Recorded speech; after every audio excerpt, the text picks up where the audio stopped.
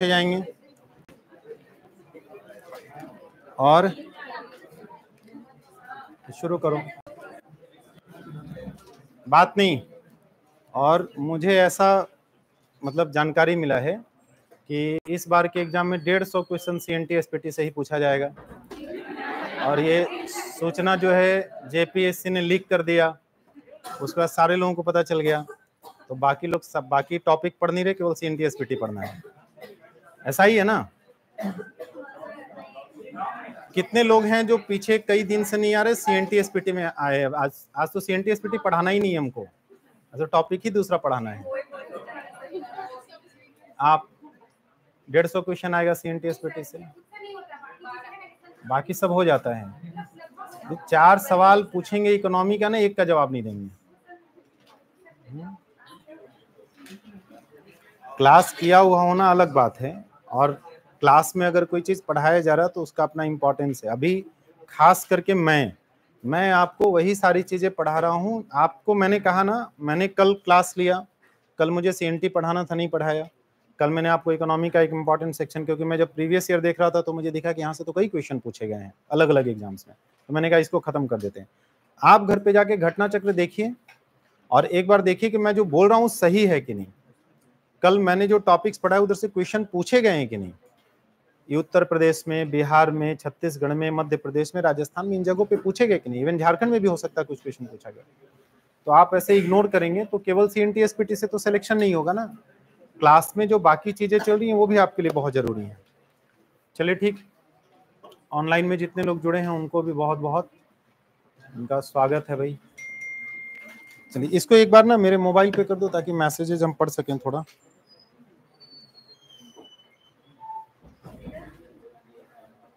एक सेकेंड।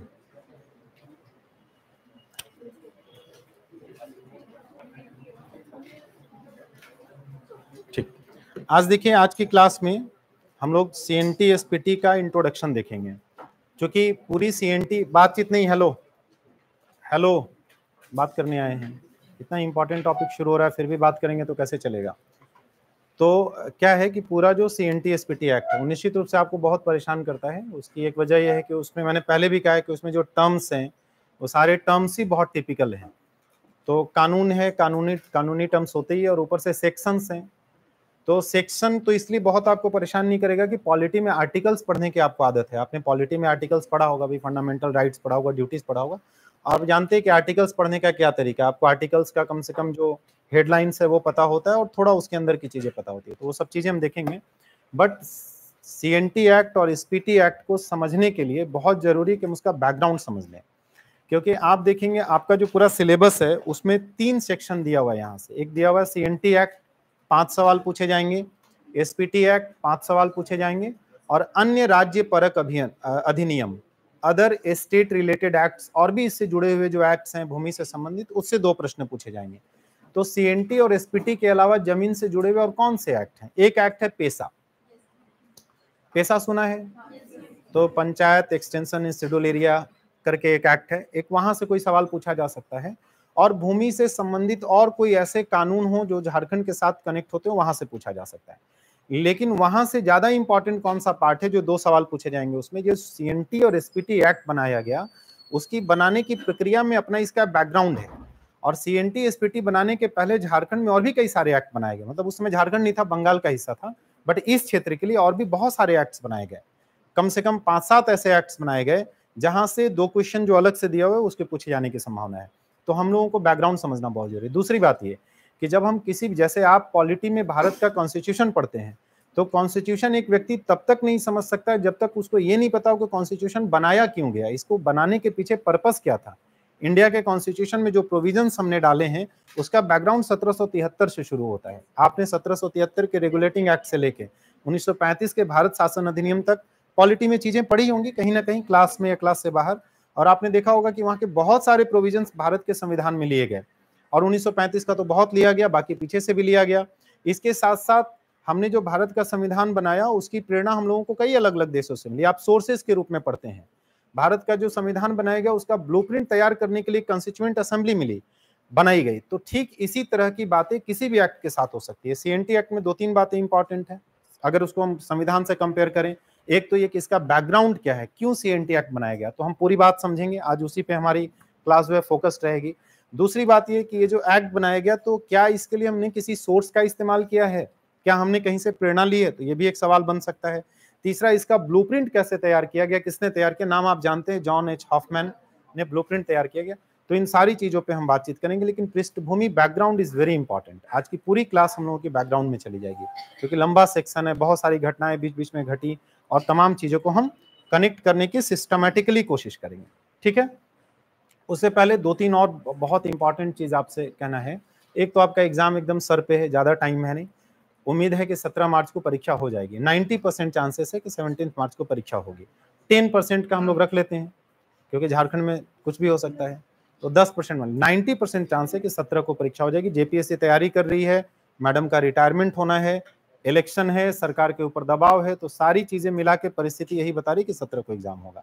अब इस एग्ज़ाम को क्रैक करने के लिए आपके पास जो स्ट्रेटजी होनी चाहिए, अभी तक जो आपने बनाया, अब आगे क्या स्ट्रेटजी होनी चाहिए? हम दो मिनट में इसकी चर्चा कर रहे हैं। आपको जो चीज़ें आप पढ़ रहे हैं, उसको प्रैक्टिस में ले आना चाहिए। प्रैक्टिस करने का कई सोर्सेस है आपके पास। एक सोर्स है कि आप टेस्ट सीरीज़ दीजिए। मुझे नहीं लगता कि आप में से बहुत सारे लोग संस्थान में जो टेस्ट सीरीज़ हो रहा है, उसमें अपियर अपियर हो रहे हैं। कितने लोग टेस्ट सीरीज़ में यहाँ पे आते हैं? आप लोग बीच में पैसा पकड़ लेते हैं कि टेस्ट देना है तो पैसा लगेगा तो वो तो लगेगा। बहुत स्वाभाविक बात है, क्योंकि टेस्ट बनवाने के पीछे खर्च होता है टेस्ट का कंटेंट बनाने के पीछे खर्च होता है प्रिंटिंग में खर्च होता है जो लोग बनाते हैं, उनको सैलरी देनी पड़ती है, तमाम उसके पीछे एक्सपेंडिचर है तो पैसा तो मैं लूँगा। ऐसे तो मैं कराऊँगा नहीं। वैसे भी फ्री का चीज़ का कोई वैल्यू नहीं करता है। आपको पता है जे का टेस्ट एक हम लोगों ने फ्री करवाया। उसमें 1200 लोगों ने रजिस्ट्रेशन करवाया 200 लोग आए। और एक हम लोगों ने पैसा लेके करवाया। उसमें दस हज़ार लोगों ने रजिस्ट्रेशन करवाया, पाँच हज़ार लोगों ने और फ़ोन किया। रजिस्ट्रेशन खत्म होने के बाद कि, सर, अब ले लीजिए। हम लोग को लग रहा था कि मज़ाक कर रहे हैं। तो उनका नहीं लिया हम लोगों ने। तो फ्री का वैसे भी लोग वैल्यू नहीं करते तो थोड़ा तो आपको देना पड़ेगा। हमने एक हिदायत इनको ये दिया था कि शायद आप लोगों की तरफ़ से कुछ बच्चों का था कि हम लोगों का फ़ी थोड़ा कम कर दिया जाए टेस्ट में। तो हमने कहा था कि ठीक है, बाहर के जो बच्चे हैं, उनसे आपका फ़ी थोड़ा सा रिड्यूस कर दिया जाए। उसके बाद मैं देख रहा हूँ कि बहुत लोग, ऐसा नहीं कि आप टेस्ट के लिए मुझे पाँच छः सौ, सात सौ रुपया फ़ी होगा। एट हंड्रेड है। मान लीजिए आप में से सौ लोग जुड़ जाएँगे तो eight hundred into hundred rupees कितना होगा? अरे, कितना रुपया आएगा मेरे को? मान लीजिए आपको ऐसा लग सकता है आप में से लोगों को कि सर इसलिए बोल रहे कि सर को पैसा आना है तो कितना रुपया आएगा? हाँ? अस्सी हज़ार। मेरे कोचिंग का आठ लाख रुपया महीना खर्चा है, क्या होगा अस्सी हज़ार में? सात से आठ लाख रुपया कोचिंग का मेरा खर्च है। अस्सी हज़ार से क्या हो जाएगा मेरा बताइए? कोई बहुत फ़र्क तो नहीं पड़ेगा ना? कि पड़ जाएगा बहुत फ़र्क? नहीं पड़ेगा। मैं बैठ के एक महीना मेहनत करके किताब लिख दूँगा तो बीस पच्चीस लाख रुपया कमा लूँगा मैं। आपको पता है ये बात। तो मैं तो वो आपके लिए कह रहा हूँ। आप टेस्ट देंगे। बहुत इंपॉर्टेंट है कि एग्ज़ाम जिस पैटर्न पे होना है, उस पर आप टेस्ट दीजिए। आप क्वेश्चन पेपर देख लीजिएगा हम लोगों के टेस्ट का। और आप दूसरे संस्थान का पेपर देख लीजिएगा। हम लोगों ने कोशिश किया है कि न तो जेपीएससी के स्टैंडर्ड से बहुत ऊपर जाएँ और न उससे नीचे रखें। उसके आसपास रखें। एग्जैक्ट तो नहीं बोल सकते ना। एग्जैक्ट का मतलब होता है कि हम जो पूछ रहे हैं, वही जेपीएससी में आएगा। ये तो संभव नहीं है। जिस तरह के क्वेश्चन का ट्रेंड रहा है जेपीएससी का और जो पिछले दो बार एग्ज़ाम हुआ, उसके आधार पर इस बार क्या बदल सकता है? पूरा जो टेस्ट पेपर है प्रैक्टिस सेट सब मैं मॉनिटर करता हूँ, मेरे मॉनिटरिंग में तैयार होता है। निश्चित रूप से मैं उसमें बहुत टाइम नहीं दे पाता। मैं मॉनिटर करता हूँ क्वेश्चंस देखता हूँ, मैं खुद से बहुत सारी चीज़ें नहीं भी बनाता हूँ। पहले समय था, बनाता था। आपको ज़रूर टेस्ट देना चाहिए। और टेस्ट देने का सबसे बड़ा बेनिफिट है कि आपको आदत होगी। आपको पता है ओएमआर रंगने में लोग गलती करते हैं। एग्ज़ाम के दिन सीधा रंग रहे, नाम में एक मिस्टेक हुआ, आपने 200 में से 180 क्वेश्चन सही बनाए थे, बाहर हो गए। फिर आप बोलेगा जेपीएससी में सेटिंग हो गया। आपका ओएमआर ही गलत। था मैंने पहले भी आपको बताया तो आप ये करिए। टेस्ट सीरीज़ आप ज़रूर दीजिए। अब तो मेरे ख्याल से दो टेस्ट हो गया है दो ही दिन और बचा हुआ है। दूसरा हुँ? हम्म, जो भी है। दूसरा कि हम लोगों ने भी एक प्रैक्टिस सेट निकाला है। अभी देखिए मैं आपको दिखा देता हूँ। हम लोगों ने कुछ प्रैक्टिस सेट निकाला है पेपर वन और टू का। इसके क्वेश्चंस भी बहुत ही मतलब मेहनत से और एकदम अप टू मार्क हम लोगों ने कोशिश किया है। कुछ ऐसे मुझे लगता है कि एक का तीन सौ रुपया प्रिंट है तो आपको दुकान में कुछ डिस्काउंट करके मिलता होगा एक का दो सौ अस्सी रुपया प्रिंट है। तो आप ले लीजिए।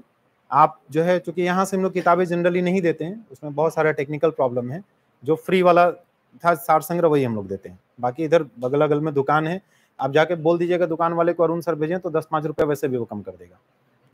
है ना अगल बगल में इधर? हाँ? नहीं करता है। चलिए मैं बोल दूँगा, इधर एक दो दुकान वाले को बोल दूँगा कि मेरे नाम पे आएगा तो आप जो रेट लेते हैं, उससे दस रुपया कम करके लीजिएगा। मेरे को दस कम दीजिएगा।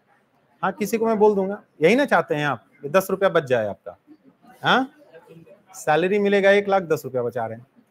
तो थोड़ा सा ना इन चीज़ों पे ध्यान दीजिए इट इज़ वेरी इंपॉर्टेंट अभी देखिए आप में से जितने लोगों के पास सार संग्रह नहीं है यहाँ से नहीं मिला है आप ले लीजिए। मेरे ख्याल से सबको मिल गया होगा। जो इंग्लिश मीडियम के लोग हैं उनको तेईस तारीख को मिल जाएगा बाईस को। आज कितना तारीख है? बीस? उन्नीस। कितना है? Twenty first. तो कल हम लोगों की शाम में किताब आएगी परसों आप लोगों को हम इंग्लिश वाला अभी तो आया ही नहीं है। आ जाएगा तो हो जाएगा। हाँ। कल ही आ जाएगा रात में। ऑनलाइन भी अवेलेबल हो जाएगा। उसके बाद करेंट अफेयर्स पढ़ना हो तो अगर जेएसएससी में लिया हो तो ठीक है। वही करेंट अफेयर्स हम लोग दूसरा नहीं बनाया हम लोगों ने। अलग से करेंट का कुछ मटेरियल दे देंगे। और मेंस के लिए खोटा की किताब अभी हम लोगों ने बनवाई है। तो इसमें खोटा भाषा और ऐसे साहित्य लिखा देख ही रहे खोटा भाषा और साहित्य करके। तो जिनका खोटा होगा वो एक बार देख सकते हैं कि किताब अच्छी है नहीं है। मैं ऐसे ज़बरदस्ती नहीं बोलता हूँ कि हमारी किताब सबसे अच्छी खरीद लीजिए। आप देख लीजिए, आप समझदार लोग हैं, ठीक है? तो इस पर थोड़ा सा आप वर्कआउट कर लीजिए। हम लोग चलिए सीएनटी एक्ट की शुरुआत करते हैं। देखिए सीएनटी एक्ट का पूरा नाम क्या है? सीएनटी एक्ट में हम लोगों को बहुत सारी चीज़ें समझनी है। क्या क्या समझना है हम लोगों को? सीएनटी एक्ट में तो दो कानून हैं हमारे यहाँ।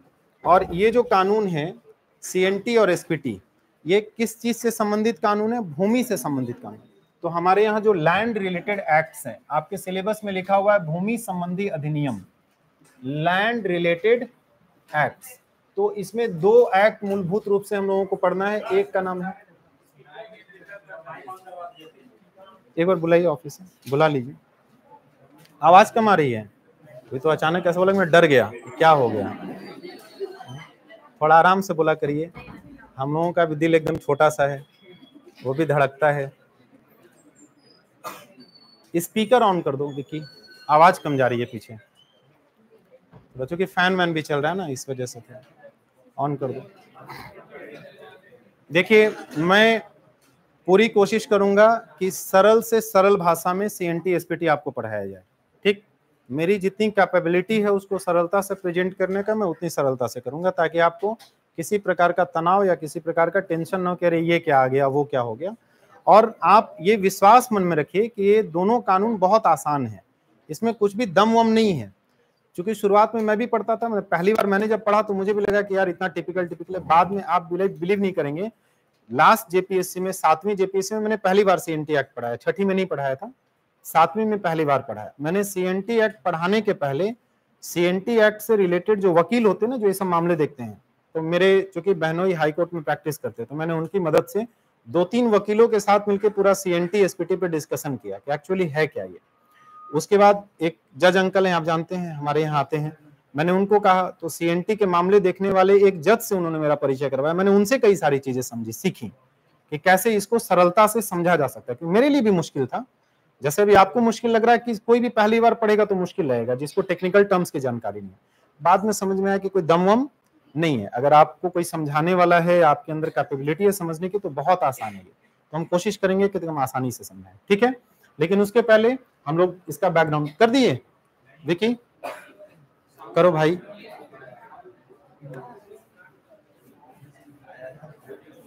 थोड़ा तो इन लोगों से डरा करो तुम। ऐसे भी दुबले पतले हो। गायब कर देंगे लोग। ये सही बोल रहे नहीं बेचारा डर जाएगा। करना नहीं है सर कुछ। हो गया? आ रही है आवाज़? माइक ऊपर कर अभी? अभी आ रही है? अभी ठीक है? नहीं आ रही, पीछे? क्या संजीव? उधर बोल रहे हैं। हाँ? देखिए।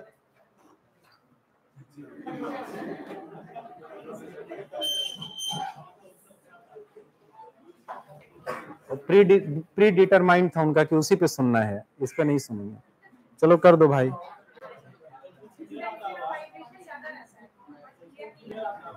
जनता जनार्दन होती है, कोचिंग में बच्चे ही सब कुछ होते हैं, इसलिए आपकी बात मानी जाएगी।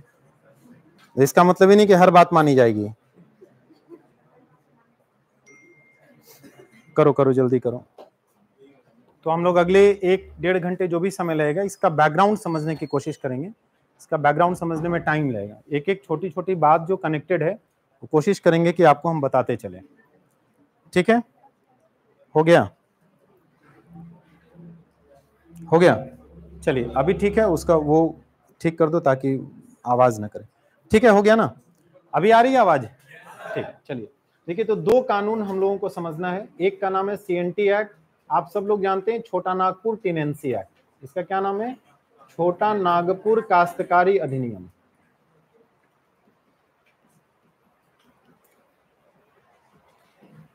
अधिनियम।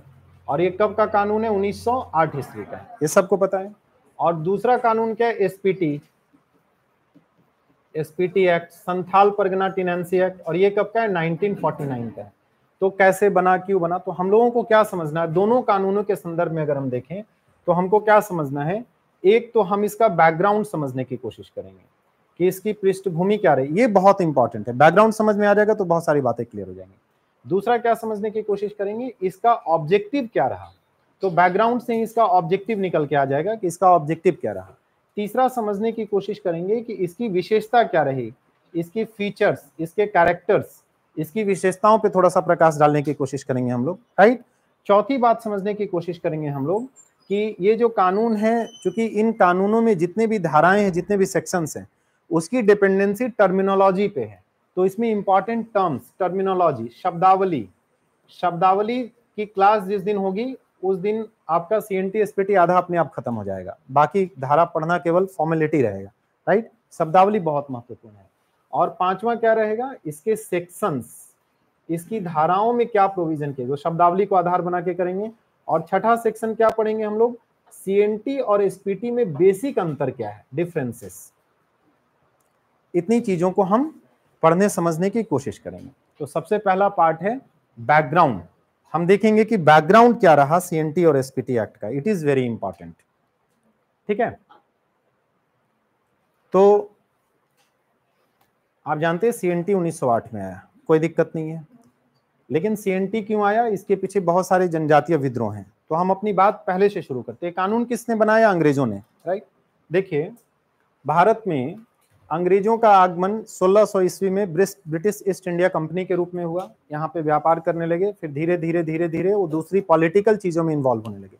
बहुत इंपॉर्टेंट टाइमलाइन है, सत्रह सौ पैंसठ। इसको भी ध्यान में रखेंगे हम लोग टाइमलाइन को। सत्रह सौ पैंसठ। क्यों इंपॉर्टेंट है सत्रह सौ पैंसठ? क्योंकि सत्रह सौ पैंसठ ईस्वी के आसपास अंग्रेज़ों को भारत में दीवानी अधिकार मिला। शाह आलम द्वितीय से अंग्रेज़ों को दीवानी अधिकार मिला। तो 1765 में हम लोगों को ध्यान रखना है कि अंग्रेज़ों को दीवानी राइट्स मिले। ये दीवानी राइट्स क्या होते हैं? दीवाना दीवानी वाला दीवानी नहीं है। तो मेरा दीवाना, मैं तेरी दीवानी, वो वाला नहीं। ये दीवानी का मतलब है भूमि से लगान वसूलने का अधिकार। जैसे कोर्ट में जो मामले होते हैं, केस होते हैं तो उसमें एक दीवानी मामले आते हैं, एक आपराधिक मामले आते हैं। तो दीवानी मामले जो होते हैं, वो आपराधिक नहीं होते, वो ज़मीन जायदाद वगैरह से जुड़े होते हैं और एक होता है आपराधिक। तो दो तरह का कानून भी है दीवानी कानून और आपराधिक कानून। इतनी बात समझ में आ रही है? तो दीवानी अधिकार मिले दीवानी अधिकार का सीधा सीधा मतलब क्या था? माल गुजारी माल गुजारी जिसको हम टैक्स बोल सकते हैं, लगान बोल सकते हैं। कि वसूली का अधिकार।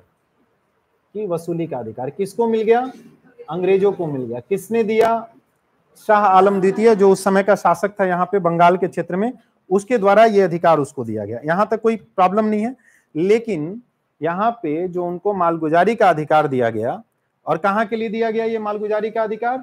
सत्रह ईस्वी में बंगाल के लिए दिया गया। लेकिन आप जानते हैं कि बंगाल और उसी से बाद में क्या बना? बिहार और उसी से बाद में क्या बना? उड़ीसा और इसी बिहार से क्या बना? झारखंड। तो क्योंकि झारखंड भी इसी से बना इसीलिए इसका मतलब यह अधिकार उनको झारखंड के क्षेत्र के लिए भी मिला। तो हमारा कंसर्न किससे? झारखंड से। है तो झारखंड में भी वो मालगुजारी इकट्ठा करते थे और मालगुजारी इकट्ठा करके जो राजा हुआ करता था, जो भी उस समय शासक थे, उनको उसका एक हिस्सा वो पहुँचा देता था। इतनी बात समझ में आ रही है? फिर क्या हुआ? आप जानते हैं कि सत्रह ईस्वी में इन 1767 आप सब लोगों को पता है कि पहली बार अंग्रेज़ों का झारखंड के क्षेत्र में प्रवेश हुआ। सबको पता है, झारखंड में अंग्रेज़ कब आए? सत्रह में किस क्षेत्र से आए? झारखंड में अंग्रेज़ों का प्रवेश। कौन राजा था इस समय सिभू में? जगन्नाथ ढाल राजा था। प्रवेश तो इस समय सीभूम के क्षेत्र से हुआ और यहाँ पे जगन्नाथ ढाल, और जानते हैं अंग्रेज़ों के इस समय प्रवेश के बाद यहाँ पे एक विद्रोह हुआ, ढाल विद्रोह आप पढ़ते हैं, जगन्नाथ ढाल के नेतृत्व में। बाद में जगन्नाथ ढाल जो है हार गया उसको गिरफ़्तार करके मिदनापुर भी भेजा गया। बाद में उसने अंग्रेज़ों से समझौता किया और फिर अंग्रेज़ों को स्वीकार किया कि भैया, हम तुमको कुछ टैक्स दे देंगे। कुछ आपको हम कर दे देंगे और उसके बाद फिर जगन्नाथ ढाल को राजा बनाया गया और फिर जगन्नाथ ढाल ने बगावत कर दी। फिर उसके भतीजे नीमू ढाल को राजा बनाया ये सब आपने पढ़ा होगा हिस्ट्री में ठीक है? इतना तो आपको पता है। तो जगन्नाथ ढाल, हम रेफरेंस के लिए इसको ध्यान में रखते हैं। ये दो बात हो गई। लेकिन जब अंग्रेज़ यहाँ आए तो यहाँ पे भी मालगुजारी की व्यवस्था लागू हो गई। धीरे धीरे यहाँ से मालगुजारी वसूलने लगे। फिर जानते हैं भारत में एक जमींदारी व्यवस्था शुरू हुई। इस घटना के लगभग कुछ सालों के बाद 10-15 सालों के बाद 20 सालों के बाद, सत्रह सौ तिरानवे ईस्वी में बंगाल के क्षेत्र में एक व्यवस्था शुरू हुई। कौन सी व्यवस्था? अस्थाई बंदोबस्त। अस्थाई बंदोबस्त। ये सबको पता है। ये आपने इकोनॉमी में या हिस्ट्री में कहीं ना कहीं ज़रूर पढ़ा होगा, जिसको हम जमींदारी व्यवस्था भी कहते हैं। ये सब थोड़ा थोड़ा रेफरेंस के लिए याद में रखना है। तब हम लोगों को बात समझ में आ जाएगी। तो जैसे जैसे अंग्रेज़ों का यहाँ पे इंटरफेरेंस बढ़ रहा है, रुक जाओ, विक्की थोड़ा सा इन को समझ लेंगे बहुत ज़रूरी चीज़ चल रहा है, बाद में करा लेना। जैसे जैसे अंग्रेज़ों का इंटरफेरेंस बढ़ रहा है वैसे वैसे अंग्रेज़ यहाँ की व्यवस्था को अपने हिसाब से ढालने की कोशिश कर रहे होंगे। अंग्रेज़ों के इस क्षेत्र में आने से पहले कोई तो व्यवस्था रही होगी। जैसे जहाँ पे जो लोग रह रहे थे, वो कौन से लोग रह रहे थे? मूल रूप से जनजातीय समुदाय के लोग रह रहे थे, आदिवासी समुदाय के लोग रह रहे थे। तो उनकी जो पूरी प्रक्रिया चल रही थी, उसमें कुछ तो व्यवस्था रही होगी। तो इससे पहले, सत्रह सौ पैंसठ के पहले, झारखंड के क्षेत्र में, झारखंड के क्षेत्र में क्षेत्रीय राजवंश हुआ करते थे। कौन हुआ करते थे? आपने बहुत सारे राजवंशों के बारे में हिस्ट्री में पढ़ा होगा। ढाल के क्षेत्र में, ढाल राजा, सिंहभूम के क्षेत्र में, समझ रहे हैं ना? सिंह वंश के राजा, पलामू के क्षेत्र में चेरो, खरवार या मानभूम के क्षेत्र में, तमाम अलग अलग हिस्सों में अलग अलग प्रकार के राजाओं की व्यवस्था आपने पढ़ी होगी। तो इन राजाओं के समय, चूँकि ये जो क्षेत्रीय राजवंश थे, इसमें ज़्यादातर लोग जनजाति, जनजातीय समुदाय के थे। इसमें जो राजा हुआ करते तो बेसिकली अगर एक आध छोड़ दीजिए तो बाकी जनजातीय से थे। नागवंशी शासन व्यवस्था जो थी, वो गैर जनजातीय थी।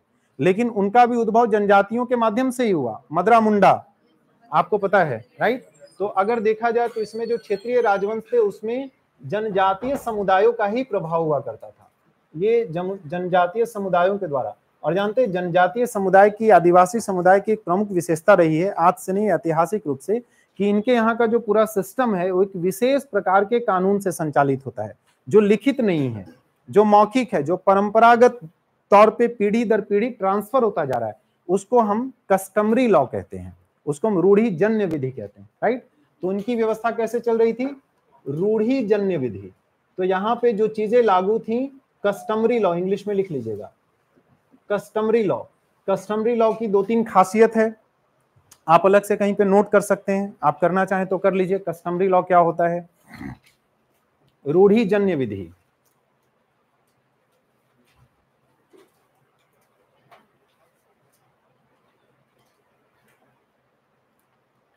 ठीक है? कस्टमरी लॉ क्या होता है? रूढ़ी जन्य विधि। इसके बारे में दो तीन बातें। कभी भी काम आ सकता। है पहला कि ये मौखिक होता है लिखित नहीं होता।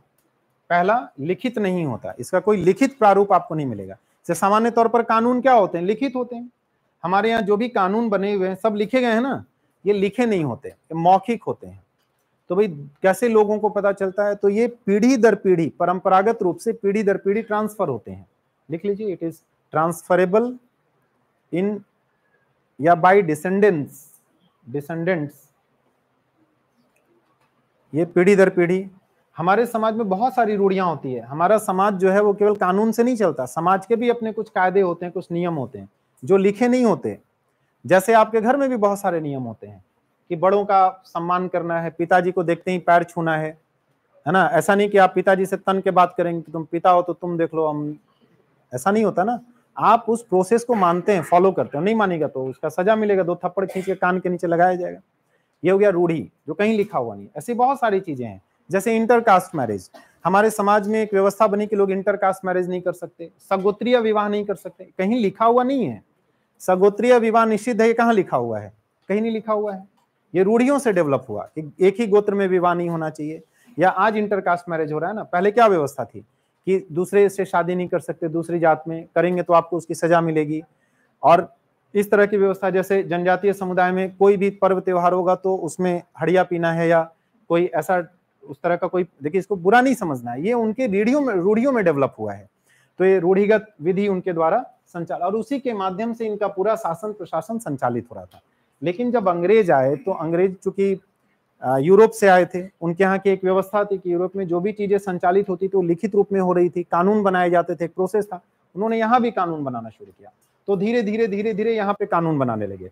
तो क्या हुआ कि ये जो कस्टमरी लॉ था, जो जनजातियों का अपना लॉ था इसकी जगह पे। तो यहाँ पे हम लोग क्या बात कर रहे हैं कि जनजातियों का जो लॉ था वो क्या था? Customary law. लेकिन आप देखिए, अंग्रेज़ों ने क्या बनाया? अंग्रेज़ों ने यहाँ पे कुछ आधुनिक कानून बनाए। उस समय के हिसाब से कानून बनाए, जो परंपरागत नहीं है, जो लॉजिक पर आधारित है, या जो उनकी ज़रूरत के हिसाब से बनाए जा रहे हैं। आप खुद बताइए, आपके घर में परंपरा से एक नियम बना हुआ है कि ऐसा करना है हमारे समाज में परंपरा से एक नियम बना हुआ है कि इंटरकास्ट मैरिज नहीं करना है जैसे खाप पंचायत में जैसे पंजाब में कई जगहों पे और वहाँ सरकार ने कानून बनाया कि नहीं, नहीं इंटरकास्ट मैरिज लीगल है और खाप पंचायत क्या बोल रही है इंटरकास्ट मैरिज इलीगल है तो आपस में क्लैश होगा कि नहीं होगा? लड़ाई होने लगेगा ना सरकार से ही लड़ाई होने लगेगा। जैसे ही सरकार कुछ ऐसे कानून आपके लिए बनाती है जो आपकी परंपराओं में आपकी धार्मिक विशेषताओं में आपकी रूढ़ियों में हस्तक्षेप करते हैं तो आप तुरंत क्या करते हैं, उसके खिलाफ में जाके खड़े हो जाते हैं राइट भारत में एक था कि सती प्रथा रहेगा। आपको पता है, सती प्रथा को जब हटाया गया तो खूब लोगों ने विद्रोह किया, खूब विरोध किया इसका सरकार का, कि नहीं, ये नहीं हो सकता, ये हमारी परंपरा का हिस्सा है, ये तो हम पाप के भागीदार हो जाएँगे, नरक में चले जाएँगे। जब सरकार ने विधवा पुनर्विवाह कानून बनवाया ईश्वर चंद्र विद्यासागर के सहयोग से तो भी समाज के लोगों ने विरोध किया, इन लोगों को बहुत विरोध झेलना पड़ा। मेरी बात समझ पा रहे हैं? तो इस तरह से जब दोनों कानून एक दूसरे के ऑपोजिट हैं, एक दूसरे का विरोध करते हैं तो आपस में क्या होगा? विरोधाभास क्रिएट होने लगा। और बाद में आगे देखेंगे कनेक्ट करेंगे। इसी विरोधाभास के विरोध विपरीत, इसी विरोधाभास को रोकने के लिए यहाँ पे विद्रोह शुरू हुए। तो विद्रोह के कई और भी कारण है। ये एक कारण है। ये विरोधाभास एक कारण है। आगे जब आप विद्रोह देखेंगे, इसे कनेक्ट करेंगे तो और भी बहुत सारे कारण है। अब हम लोग इधर आते हैं। यहाँ तक की बात समझ में आ गई? किसी को कोई कंफ्यूजन नहीं है। फिर देखिए कि अब यहाँ पे अस्थाई बंदोबस्त व्यवस्था आ गई। अब इस अस्थाई बंदोबस्त में क्या था? यहाँ पे अंग्रेज़ सरकार है। अंग्रेज़ सरकार है और यहाँ पे एक रैयत है। रैयत का माने किसान। सिंपल सी भाषा में समझनी है। रैयत का माने किसान। अब किसान को पहले क्या करना था कि लगान देना होता था मुगल साम्राज्य को। मुगलों ने वही लगान वसूलने की व्यवस्था किसको दे दी? इस अंग्रेज़ों को दे दी। अंग्रेज़ लगान वसूलने लगे और फिर जो मुगल सम्राट होते थे, उनको उसका हिस्सेदारी दे देता था और कुछ अपने पास रख लेता था। यही व्यवस्था चल रही अंग्रेज़ों ने एक नई व्यवस्था लागू की, क्योंकि अंग्रेज़ों ने सत्रह सौ तिहत्तर में रेगुलेटिंग एक्ट पारित किया और यहाँ का शासन अपने हाथ में लेना शुरू किया। और करीब करीब सत्रह सौ तिहत्तर के बाद कौन सा एक्ट आया? तिहत्तर के बाद? पिट्स इंडिया सत्रह सौ चौरासी के एक्ट के बाद लगभग अंग्रेज़ों का यहाँ प्रभुत्व स्थापित हो गया। शासन पे उनकी पकड़ मज़बूत हो गई। और जैसे ही पकड़ मज़बूत हुई, उन्होंने यहाँ की व्यवस्था पूरी तरह से अपने हिसाब से चेंज करनी शुरू की। अब अंग्रेज़ और मुगल के बीच मतलब अंग्रेज़ जो है, मुगल और किसान के बीच में थे। अब अंग्रेज़ और किसान के साथ मुगल से कोई लेना देना नहीं, अब अंग्रेज़ी शासक हो गए एक तरीके से। अंग्रेज़ों ने यहाँ पे व्यवस्था बनाई, जमींदारी व्यवस्था। और आपने पढ़ा है कि जब जमींदारी व्यवस्था यहाँ पे बनी, इनको कुछ लगान यहाँ से देना था, यहाँ से लेना था। तो ये लगान क्या बढ़ा के ले रहे थे? फिर इन्होंने अपने और इसके बीच में क्या तय कर दिया? उप जमींदार ऐसे कई उप जमींदार तय हो गए, जिससे इनके ऊपर लगान का भार बढ़ता चले। एक ये कारण रहा विद्रोह का। विद्रोह का दूसरा कारण आपको नज़र आ रहा है। कोई दिक्कत नहीं है। अब देखिए, यहीं पे एक और बात हम लोगों को समझना है कि ये जो झारखंड का क्षेत्र है तो झारखंड का जो क्षेत्र है, ये पूरा हम बना लेते हैं। मान लीजिए कि ये पूरा बिहार का क्षेत्र है ऐसा। ऐसा पूरा बिहार का क्षेत्र है। और बिहार का ये वाला हिस्सा क्या है? यही हिस्सा कट के झारखंड बना राइट झारखंड और बिहार में कुछ मामलों पर डिफरेंसेस था, अंतर था। देखिए, झारखंड के जो क्षेत्रीय राजवंश थे ना, यद्यपि सरकारी तौर पर देखिएगा तो बिहार बंगाल का हिस्सा था और झारखंड बिहार का हिस्सा था। सब एक के हिस्से एक दूसरे से जुड़े हुए थे, लेकिन जो झारखंड में रहने वाले लोग थे, वो अपने आप को बिहार से अलग मानते थे। वो मानते ही नहीं थे कि बिहार का हिस्सा है। अंग्रेज़ मानते थे, ये बिहार का हिस्सा है। और यहाँ के लोग क्या मानते थे? हम स्वतंत्र हैं, हम अलग हैं। इसके लिए दो तीन कारण जिम्मेदार थे, उसकी अभी हम लोग चर्चा करेंगे। तो यहाँ पे जो क्षेत्रीय राजवंश थे, जो क्षेत्रीय राजवंश, पीछे की बात एकदम क्लियर है सबको? कोई कंफ्यूजन नहीं है। यहाँ जो क्षेत्रीय राजवंश था, वो झारखंड के हिस्से को, जो वर्तमान झारखंड है, झारखंड के हिस्से को बिहार से स्वतंत्र मानते थे। बिहार से स्वतंत्र मानते थे। ये एक बात लिखिए। कि यहाँ के हिस्से को बिहार से स्वतंत्र मानते थे, अलग मानते थे।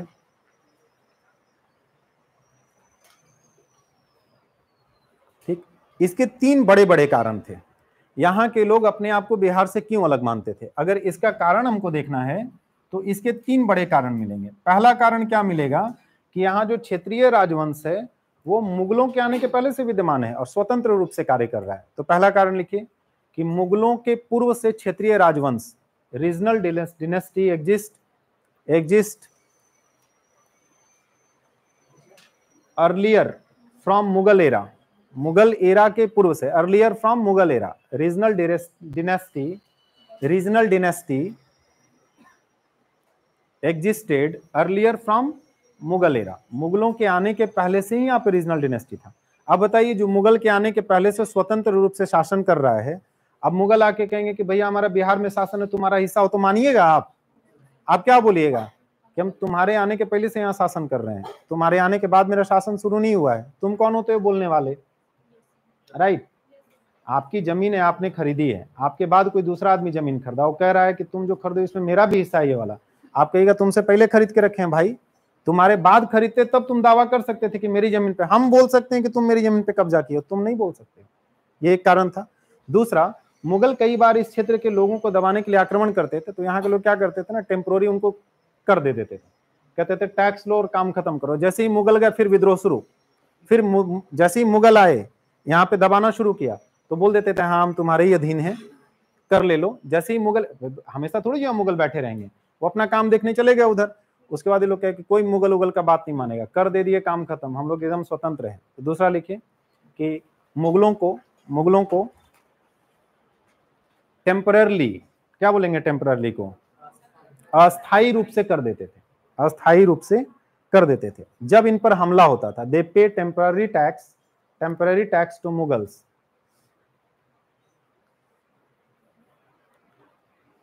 in the condition of invasion जब मुगल इन्वेड करते थे, कब्जा करते थे, तभी उनको टैक्स देते थे। तो फिर ये भी निश्चिंत थे कि हम तो स्वतंत्र हैं, केवल जब वो आते हैं तो कर देते हैं, काम खत्म। और तीसरा एक बहुत बड़ा कारण था कि इस क्षेत्र की जो भौगोलिक परिस्थितियाँ थी, वो बिहार से बिल्कुल अलग थी। बिहार आप जानते हैं, पूरा बिहार का क्षेत्र मैदानी है। बिहार का क्षेत्र जो है, वो गंगा नदी के द्वारा लाए गए अवसादों से निर्मित हुआ है और झारखंड का क्षेत्र पठारी था। ये प्रादीपीय पठार का भाग है, उबड़ खाबड़ है, जंगल बहुत अधिक था। तो लिख लीजिए कि झारखंड का क्षेत्र भौगोलिक रूप से बिहार से अलग था। Geographical features of Jharkhand was differ from Bihar differ from Bihar. कोई दिक्कत नहीं है। तो ये तो हो गया कि यहाँ के लोग अपने आप को बिहारी से, बिहार से अलग मानते थे। वो मानते ही नहीं थे कि हम बिहार वाले हैं। बिहार से कोई लेना देना नहीं। लेकिन यहाँ का जो शासन चल रहा था, क्षेत्रीय राजवंश का जो शासन चल रहा था, इनके शासन चलाने के लिए जिन नियमों का इस्तेमाल किया जा रहा था, मूल रूप से क्या थे वो? रूढ़ीजन्य विधि। इनकी अपनी विधि थी, जिसका दूसरों से कोई लेना देना नहीं है। लेकिन आप जानते हैं कि जैसे मान लीजिए झारखंड राज्य है, झारखंड ने हर चीज़ के लिए अपने कानून बनाए, या मान लीजिए कोई नया राज्य बना वो हर चीज़ के लिए अपना कोई सिस्टम बना रहा है, या मान लीजिए आपका घर है, आप अपने घर में एकदम अपने हिसाब से व्यवस्था रखे हुए लेकिन थोड़ा बहुत तो अगल बगल का प्रभाव पड़ेगा। थोड़ा उससे देख के आएँगे तो कहेंगे, नहीं, ये वाला बढ़िया है, ये वाला लागू हम अपने यहाँ कर सकते हैं। या सब कुछ अलग ही रहेगा। थोड़ा बहुत तो रहेगा नहीं, भाई, आसपास का थोड़ा तो प्रभाव पड़ता ही है। आप आज जहाँ कहीं भी रहते हैं, आपके पहनावे ओढ़ावे में खान पान में थोड़ा बहुत आसपास के स्टेट का, आसपास के क्षेत्र का, कोई मिठाई ऐसी हो सकती है जो रांची की विशेषता नहीं हो, लेकिन आसपास के प्रभाव स्वरूप रांची में भी मिलने लगता है। धुसका रांची की विशेषता है तो खाली रांची में मिलता है क्या? हजारीबाग में नहीं मिलता है? वहाँ भी मिलता है, लोग यहाँ से सीख के वहाँ चले गए।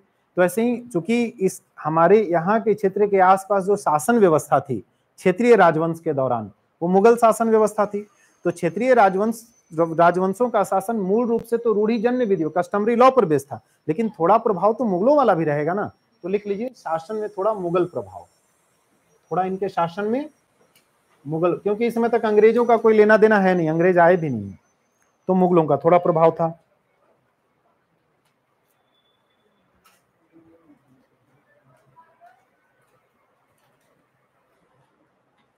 ठीक है?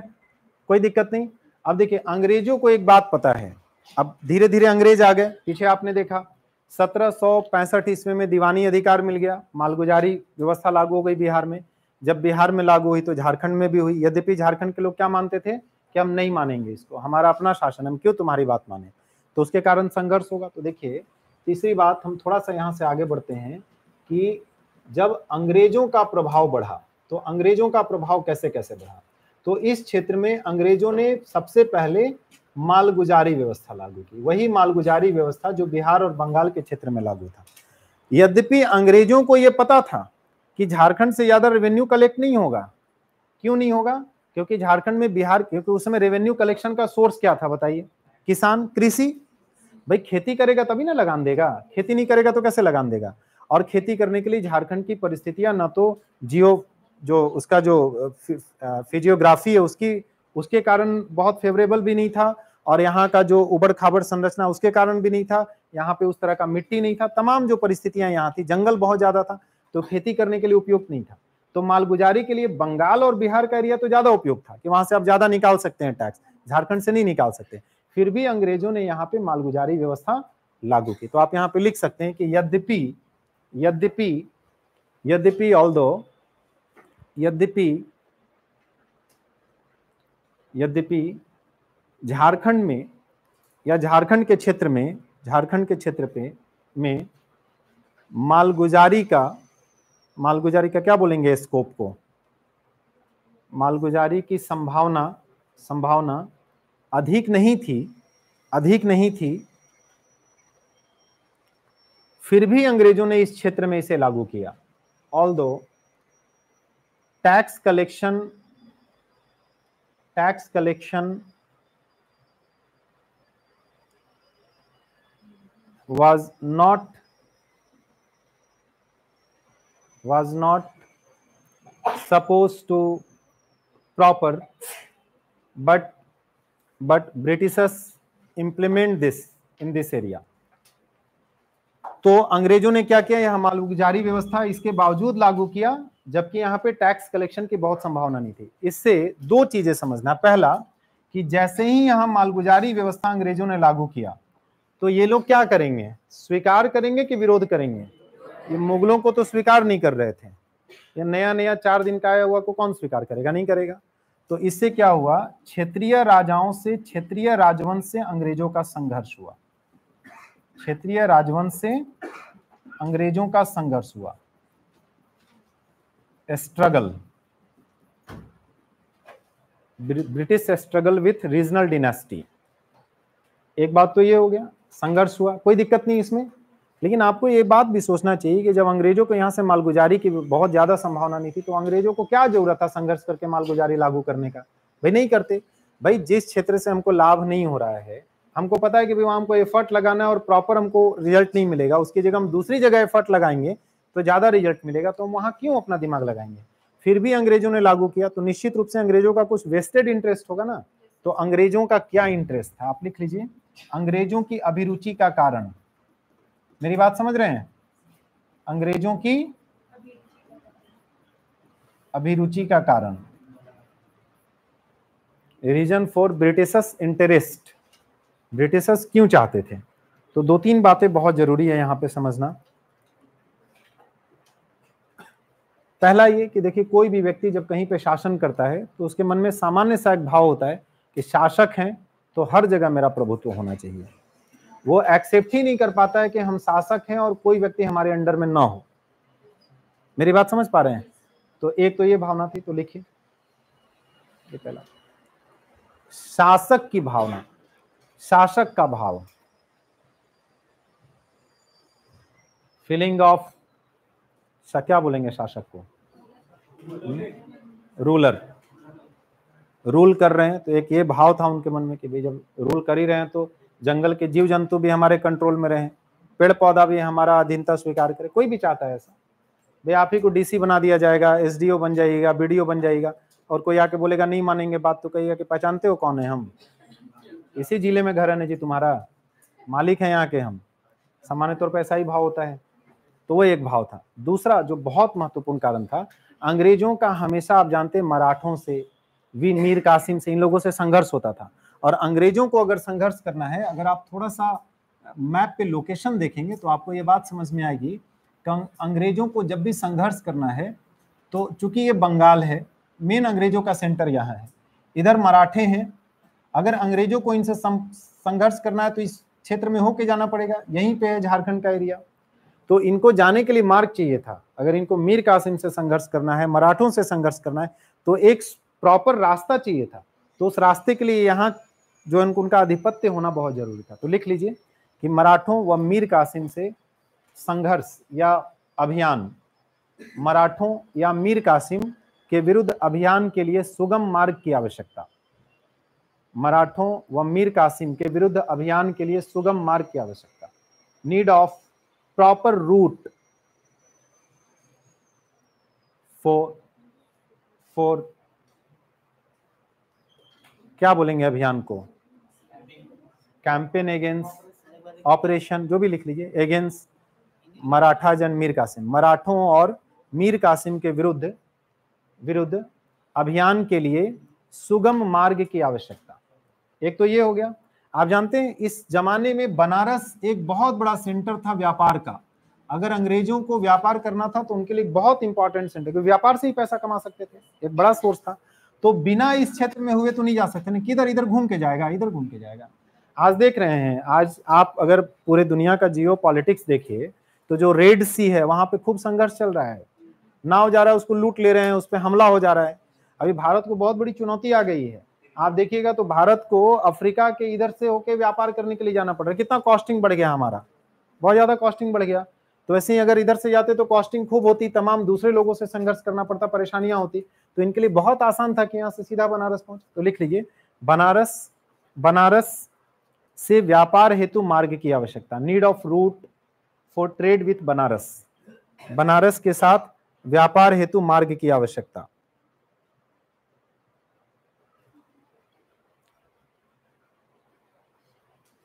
बनारस से मार्ग हेतु सॉरी व्यापार हेतु मार्ग की आवश्यकता।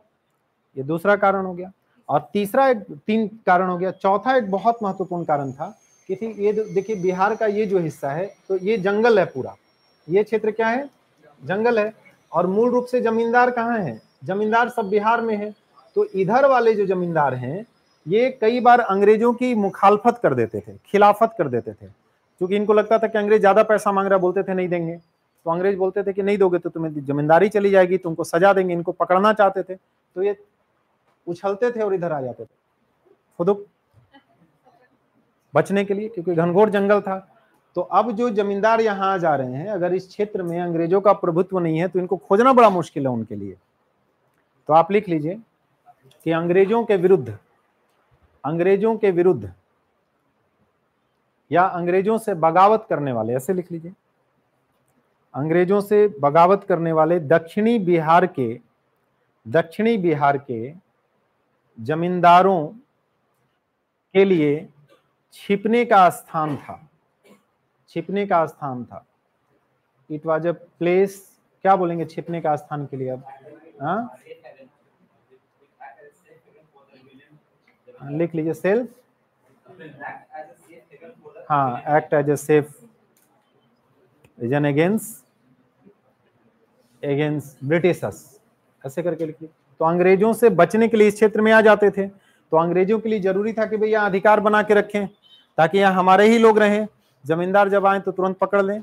लिख लीजिए, इसके लिए अंग्रेज़ों को इस क्षेत्र में अधिकार की आवश्यकता थी। इसलिए अंग्रेज़ों को इस क्षेत्र में नियंत्रण की आवश्यकता थी।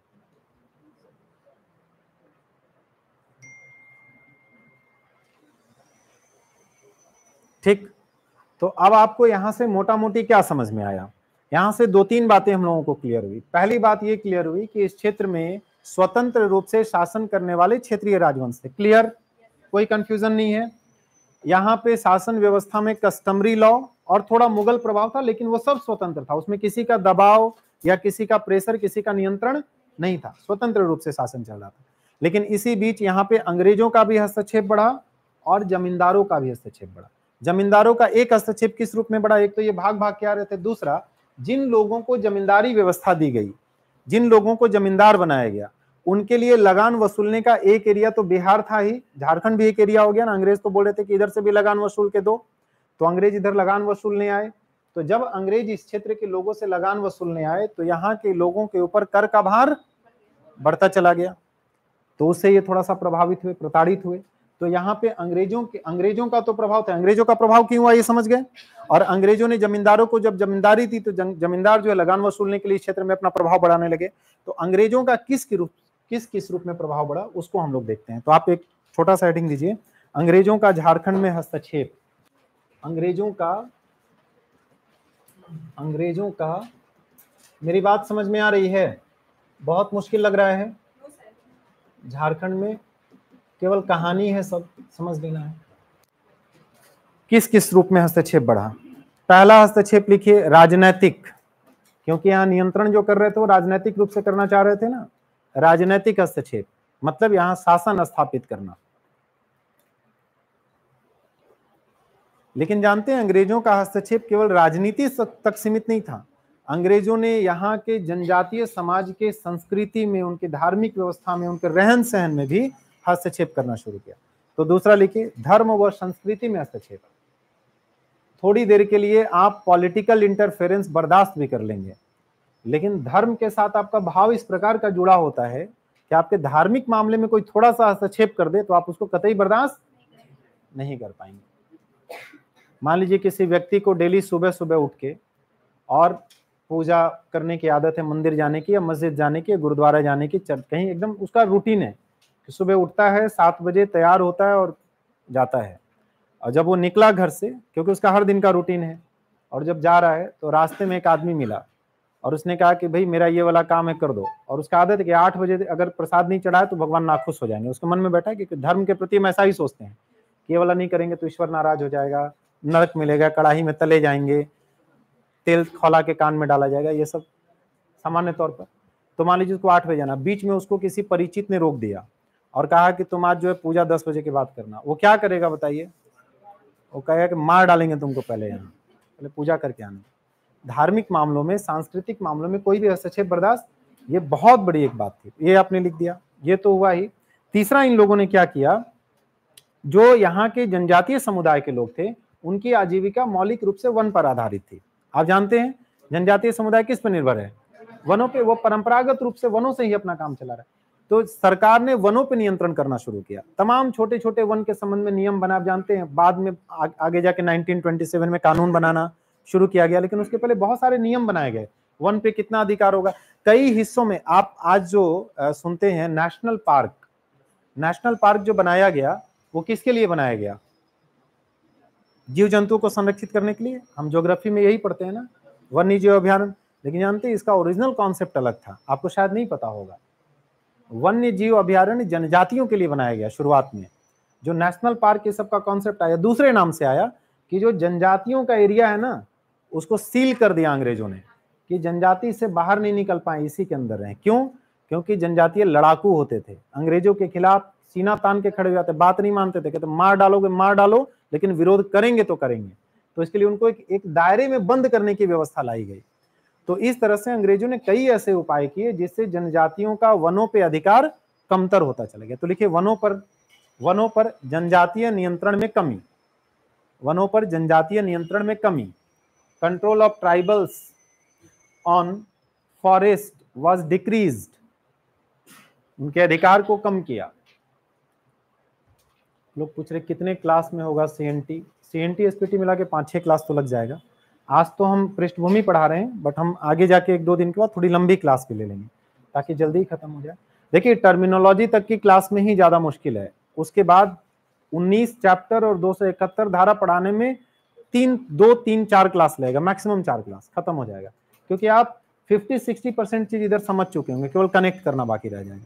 तो इधर वाला बहुत इंपॉर्टेंट यहाँ तक बात समझ में आ गई?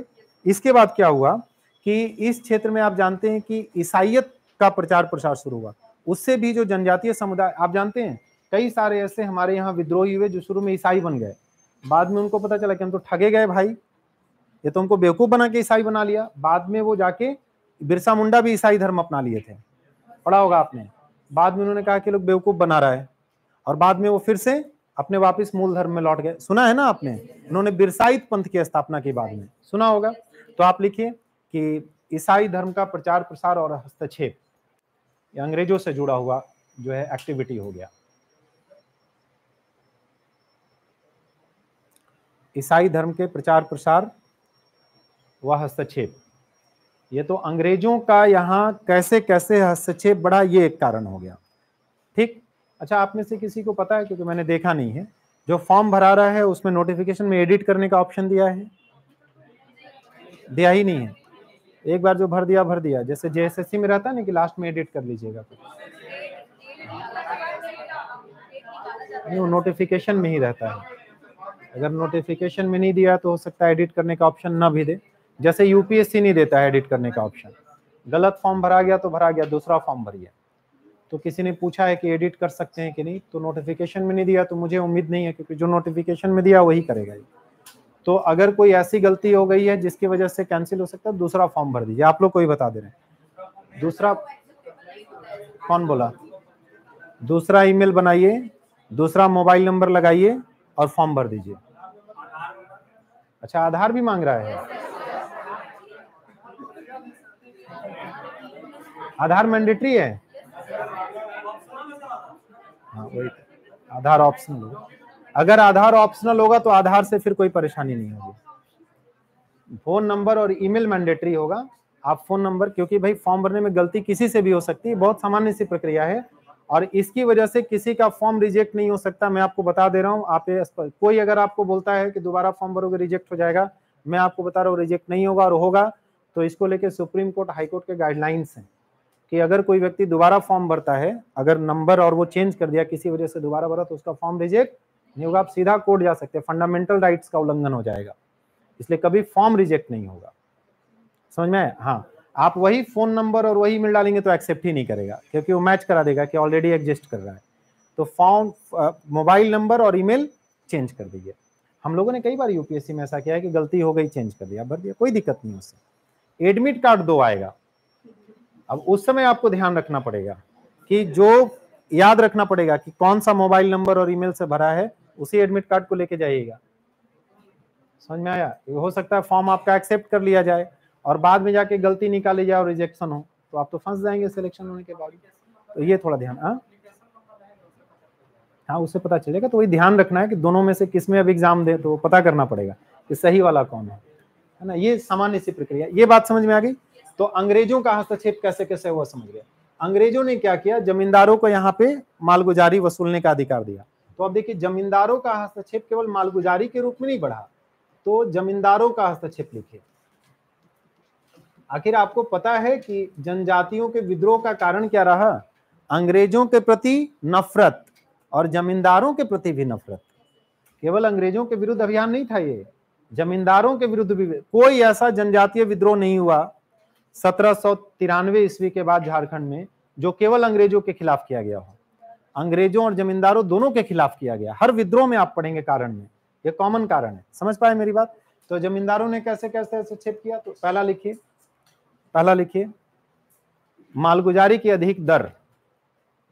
ओवर रेट ऑफ़ टैक्स मालगुजारी का दर अधिक था। इसे शोषण कर रहे थे।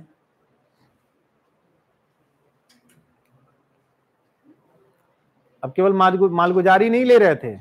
जो लोग समय से मालगुजारी नहीं दे पाए या मान लीजिए कम मालगुजारी दिया, उनकी ज़मीन हड़प लिए, या मान लीजिए कोई ऐसा, मेरी बात सुनिए इधर, बातचीत नहीं, ध्यान दीजिए, या मान लीजिए हेलो पीछे, या मान लीजिए कोई ऐसी ज़मीन है जो किसी जमींदार को पसंद आ गया तो तो उसको अपनी मिल्कियत समझ लेता था। वो किसी न किसी तरीके से उसका जो रैयत था, उसको वहाँ से बेदखल कर देता कोई ना कोई उपाय लगा के कर देता था, क्योंकि जमींदारों को बहुत सारे पावर्स थे। उनको सशक्त किया था अंग्रेज़ों ने, ताकि वो प्रॉपर तरीके से मालगुजारी वसूल सके। तो लेकिन ज़मीन हड़पना, जमीनों पर कब्जा बर्दाश्त करिएगा ये सब हाँ? ऊपर से जो यहाँ के जनजातीय समुदाय के लोग थे, वो आर्थिक रूप से संपन्न थे या गरीब थे? अब आप उनसे मालगुजारी बहुत वसूलिएगा, आप आप उनकी जमीनें हड़पिएगा तो और गरीब हो गए। और गरीब हो गए तो उनको अपनी सामान्य जरूरतों को पूरा करने के लिए पैसों की कमी पड़ने लगी। तो इन लोगों ने फिर रास्ता अपनाया कि सूद पे पैसा लेंगे। तो सूद देने वाला भी वही जमींदार। जमींदार आप ही से टैक्स ले रहा है और आप ही का पैसा आपको सूद दे के फिर से टैक्स ले रहा है। तो लिखिए, सूद पर सूद पर सूद पर पैसा लेना और इसमें निहित शोषण। है ना? Money lending on interest and exploitation और जानते हैं कि सूद पर पैसे में खूब एक्सप्लाइटेशन होता था। आपने पढ़ाई है, आपने, मैंने पहले भी कहा कि आप अगर गोदान पढ़ेंगे, आपको पता चलेगा, आप मदर इंडिया मूवी देखेंगे तो थोड़ा पता, कई चीज़ों में, कई जगहों पे हमारे समाज की झलक है, उसको रिप्रेजेंट किया गया तो सूद पे पैसा और उससे शोषण। नेक्स्ट लिखिए नेक्स्ट लिखिए, जमींदारों ने एक और गड़बड़ किया। क्या किया जमींदारों ने? जो यहाँ के, आप सुना होगा आपने कि कई सारे ऐसे आंदोलन हुए झारखंड में जनजातियों के, जिसमें जो जमींदार थे या दूसरे समुदाय के लोग थे उन लोगों ने घर की बहु बेटियों की इज़्ज़त पे हाथ डाला या उनको गलत तरीके से उन पे निगाह डाली। तो लिख लीजिए कि घर की अस्मिता पर प्रहार, इज़्ज़त पर प्रहार। ये एक बड़ा कारण था आपने सुना होगा सिंगरायमान की बिंद्राय घटना सुनी होगी ना? हाँ। तो उसमें भी इस तरह की घटना तो ये जमींदारों का एक समान है। देखिए, जो जमींदार थे, हमारे यहाँ आप अगर देखेंगे आप बहुत बार सुनते होंगे, सदान, मूलवासी, आदिवासी, दीकू, पूछा जाता है, दीकू शब्द किसके लिए इस्तेमाल किया गया? झारखंड में पूछा गया तो ये सब शब्द सुनते होंगे। देखिए, झारखंड में रहने वाले जो लोग थे तो झारखंड में झारखंड में जो रह रहे थे, रह रहे लोग, उनकी कई कैटेगरी थी। तो एक तो ऐसे लोग थे जो झारखंड के ही थे, जिनको हम झारखंड का निवासी बोलते हैं, जो झारखंड के निवासी थे। जो आज भी है ना ये चीज़? और दूसरे थे जो बाहरी लोग थे। बाहरी जो निवासी नहीं थे। आप में से भी कुछ लोग हो सकते हैं जो बाहर से आए हों। भाई झारखंड में तो बहुत लोग हैं ना उसको लेके भी एक बात यहाँ पे उठती रहती है। ठीक है उस पर अपना अपना विचार हो सकता है। बट हम लोगों को एग्ज़ाम के पॉइंट हो उससे कोई ऐसा अनुमान नहीं लगाना है कि सर भड़का रहे हैं कुछ ऐसा कर रहे हैं ऐसा कुछ नहीं। है ना? मैं धर्मों में सबसे ऊपर रखता हूँ इंसानियत धर्म को, बाकी सब धर्म उससे पीछे चलिए तो झारखंड के जो निवासी हैं वो दो प्रकार के हैं। एक ऐसे हैं जो जनजाति हैं, जो आदि काल से यहाँ रह रहे हैं। जनजाति तो सरकार ने दर्जा दिया, मौलिक रूप से इनको क्या बोलते हैं?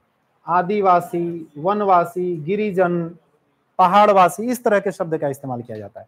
तो एक आदिवासी हो गए, और जो झारखंड के ऐसे निवासी जो जनजाति नहीं है, गैर जनजाति हैं उनको क्या कहा जाता है? गैर जनजाति मूलवासी। इन्हीं को सदान भी कहते हैं। तो सदान कौन है? ये क्लियर हो गया। और वैसे लोग जो बाहर से आए झारखंड में, उनको कहा गया दीकू। दीकू। और दीकुओं के विरुद्ध भी यहाँ पे विद्रोह रहा। ठीक? तो यहाँ के जनजातीय विद्रोहों का एक कारण अंग्रेज़ों का हस्तक्षेप दूसरा कारण जमींदारों का हस्तक्षेप और तीसरा जमींदारों से इतर भी कुछ लोग थे, दीकू समुदाय के बाहरी लोग। उन तो तीसरा लिख लीजिए, एक और लिखिए। भाई, जमींदार आएँगे, जमींदारों के माध्यम से यहाँ रेवेन्यू क्रिएट हो रहा है तो जमींदार अकेले नहीं आएगा ना? उसके आसपास उसका पड़ोसी, रिश्तेदार, वो भी तो आ सकता है अपॉर्चुनिटी के रूप में। आप मान लीजिए मुंबई जाते हैं, इधर मेरी बात पे ध्यान दीजिए। आपके यहाँ का कोई व्यक्ति मुंबई गया, दिल्ली गया कमाने के लिए तो कई बार नहीं होता अकेले थोड़ी जो कमा रहा है। अपने गाँव से फ़ोन करके दोस्त को भी बुला लिया कि आओ, यहाँ बहुत अपॉर्चुनिटी है। यहाँ पैसा कमाने का अवसर है। तो ऐसे कुछ और तो आप लिख लीजिए कि दीकुओं का दीकुओं का हस्तक्षेप। ये सब बैकग्राउंड बन रहा है सीएनटी एक्ट का। अभी हम लोगों को जो सीएनटी नाम की सब्ज़ी बनानी है, उसका मसाला तैयार कर रहे हैं हम लोग। है ना? जिसको मसाला का ज्ञान नहीं हो सब्ज़ी नहीं बना सकता। तो मैंने एक बार बताया था कि मैंने मैगी कैसे बना के खाई है। मैं जब दिल्ली गया पहली शुरुआत में तो दिल्ली में रहने लगा तो मेरा रूम पार्टनर सामान्य तौर पे नया नया हम लोग एक व्यक्ति थे बिहार के वो रूम पार्टनर बने। तो उनके रूम पे मैं शिफ्ट हुआ, ऐसे कहीं परिचय। मुखर्जी नगर में एक सामान्य तरीका है, वहाँ पे किसी व्यक्ति ने रूम लिया, उसका भार अधिक है तो कहाँ से ढूंढेगा रूम पार्टनर तो ए फोर साइज़ में पर्चा चिपका देते हैं दुकान दुकान पे। कि मेरे रूम पे पार्टनर बन सकते हैं, इतना किराया, इतना आपको देना पड़ेगा। तो वैसे ही कोई व्यक्ति मिला फ़ोन किया, परिचय हो गया पार्टनर बन गया। तो क्या खाना वही बनाते थे। अच्छा परिचय हो गया, वो सरकारी टीचर बन गए। तो खाना वही बनाते थे भाई साहब, मुझे आता नहीं था खाना बनाना। वही बनाते थे अच्छा थोड़ा बहुत आता भी था तो मैं बोल देता था, नहीं आता है। तो बनाते थे अपना। एक बार वो घर चले गए। अब हुआ दरअसल यूँ कि वास्तव में बहुत अच्छा नहीं आता था। टूटा फूटा तरीके से किसी तरह बनाता था। तो अब ये वो भूख लगी है, क्या बनाना तो मैगी बना लो। मैंने जीवन में कभी मैगी नहीं बनाई थी। तो मुझे लगा मैगी पे लिखा रहता, दो मिनट दो मिनट में बन जाएगा। तो पानी गर्म किया, उसमें मैगी डाला मैगी जब पक गया तो उसमें मसाला डाला और जब खाए तो अजीब सा लगे। मसाला भुना ही नहीं था, मसाला सबसे लास्ट में डाला। जब मैगी बॉयल हो गया तो ऊपर से मसाला छिड़क के और खा रहा हूँ तो सोचिए कैसा लगेगा। तो टेंशन हो गया। तो मेरे जिस कमरे पे रहता था, जिस फ्लोर पे उसके नीचे वाले फ्लोर के लड़के को पकड़ के लाया और कहा कि, यार, मैगी खाना है, भूख लगी है। उसने मुझे पहली बार मैगी बनाना सीखा। तो उस दौरान मैंने अपने घर पे सबको फ़ोन किया। फ़ोन था छोटा मेरे पास। मैंने अपने सिस्टर को फ़ोन किया, मेरी मामी उन, कोई फ़ोन नहीं उठाया। मतलब उस दिन ऐसा हो गया कि ईश्वर भी हमसे नाराज़ था। तब एक को पकड़ के लाए। तो मसाला बनाने का अगर ज्ञान नहीं तो सब्ज़ी फीका बन जाएगा ना। तो आपको ये तो जानना पड़ेगा। ठीक है, यहाँ तक की बात आपको समझ में आ रही है। अब देखिए, इनका जो इनका जो शोषण था, ये सब मिलके क्या कर रहे थे? सब मिलके यहाँ के आदिवासी समुदाय के लोगों का, आदिवासियों का जम के शोषण कर रहे थे। पॉलिटिकल एक्सप्लाइटेशन भी हो रहा था, इकोनॉमिक एक्सप्लाइटेशन भी हो रहा था, रिलीजियस एक्सप्लाइटेशन भी हो रहा था। उनके घर पे भी हमला बोल रहे थे, आप देख ही रहे हैं। तो क्या करेगा कोई आदमी, बताइए, कितना बर्दाश्त करेगा? एक सीमा है ना बर्दाश्त करने की? कोई व्यक्ति आपको एक तरीके से परेशान करे, इकोनॉमिक लॉस करे, आप कहिएगा, चलो ठीक है यार, कोई बात नहीं है। पॉलिटिकल लॉस करे, कहिएगा, ठीक है। अब लोग जो है धार्मिक मामलों में, घर के बहु बेटियों पे, महिलाओं पे लोग जो है हाथ डालने तब लोगों का सब्र का बाँध टूट गया। तब जनजातियों ने क्या किया? तब यहाँ पे क्या शुरू हुआ? जनजातीय विद्रोह। इसी के परिणाम स्वरूप क्या हुआ? जनजाति। यहाँ से आप एक बात और समझ गए कि जनजातीय विद्रोह क्यों हुआ? ये भी क्लियर हो गया आपको? तो जनजातीय विद्रोह शुरू हुआ। जो यहाँ के जनजातीय समुदाय के लोग थे, जिनकी भूमि अपनी थी, जो यहाँ के रैयत थे, किसान थे, उनका और जमींदार या अंग्रेज़ों के बीच जो जम, यहाँ के रैयतों का, आदिवासियों का जो ज़मीन से रिलेटेड संबंध था, वो बहुत अच्छा था या बहुत खराब हो चुका था? बहुत खराब हो चुका था। संबंध अच्छे नहीं थे। ज़मीन को लेके उनकी नज़र कुछ और थी, जनजाति कुछ और चाहते थे, वो कुछ और चाहते थे, जनजाति चाहते थे टैक्स कम लगे, हमारी जमीनें सुरक्षित हो, हमारी ज़मीन पे हमारा अधिकार हो, कोई छीन नहीं पाए, और वो चाहते थे नहीं, जमीनें छीनी जाए टैक्स ज़्यादा लिया जाए, जनजातियों को किसी किसी तरह से तो एकदम ऑपोजिट चल रहा था। इसी के विरोध में जनजातियों का विद्रोह हुआ। बहुत सारे विद्रोह हुए। दो चार लिख लीजिए आप। दो चार लिख लीजिए। जैसे लिखिए, चेरो विद्रोह, चुआर विद्रोह, घटवाल विद्रोह, तमाड़ विद्रोह। सब नाम सुना है ना आपने? हो विद्रोह, मुंडा विद्रोह, संथाल विद्रोह। तमाम विद्रोह ईयर वियर आप पढ़ते ही हैं।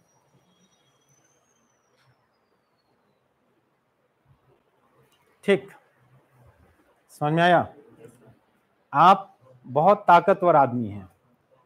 सुनिए मेरी बात इधर, ध्यान से। आप किसी ज़िले के डीएम बन गए। मान लीजिए वीडियो बने, प्रमोशनों के डीएम। बहुत ताकतवर आदमी हैं। आप जिस ज़िले में हैं, वहाँ के जो पहले से रहने वाले लोग हैं, उनके ऊपर आपने खूब सारा अत्याचार किया, उनको आपने खूब शोषण किया, उनको खूब परेशान किया तो आपके अगेंस्ट जाके वो रिवॉल्ट करेंगे? तो आपका एग्जिस्टेंस खतरे में आएगा कि नहीं आएगा? आप क्या कर लीजिएगा, ताकत ही रख के सब आपस में मिल के पकड़ के कूट देंगे आपको। अकेले क्या करेगा कई जगहों पे आप जानते हैं कि अधिकारियों को पकड़ के पीट दिया जाता है। तो ऐसा अधिकारी जो बात बात पे पैसा माँगता है बाँध दिया जाता है, रूम में बंद कर देते। बिहार में कई बार होता है ऐसा।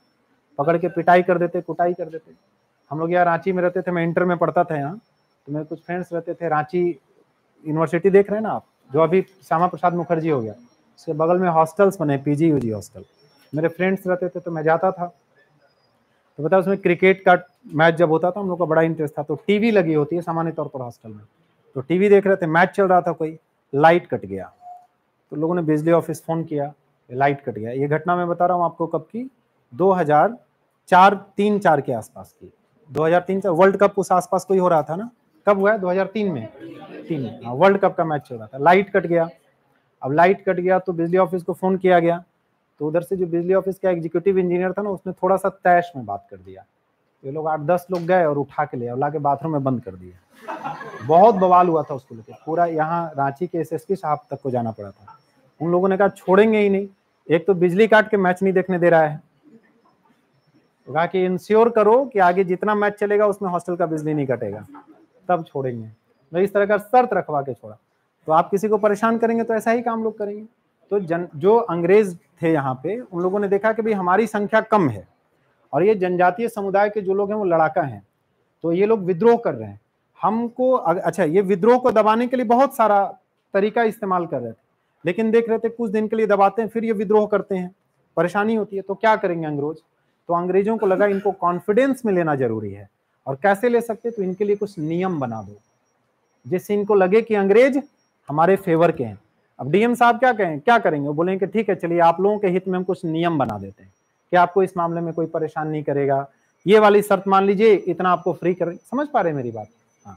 तो देखिए, इन जनजातीय विद्रोहों के रिज़ल्ट में परिणाम स्वरूप यहाँ पे अंग्रेज़ों ने क्या किया? जनजातियों के हितों को ध्यान रख, को ध्यान में रखते हुए नियम और विनियम बनाए। रूल एंड रेगुलेशन कई सारे नियम और विनियम बनाए गए।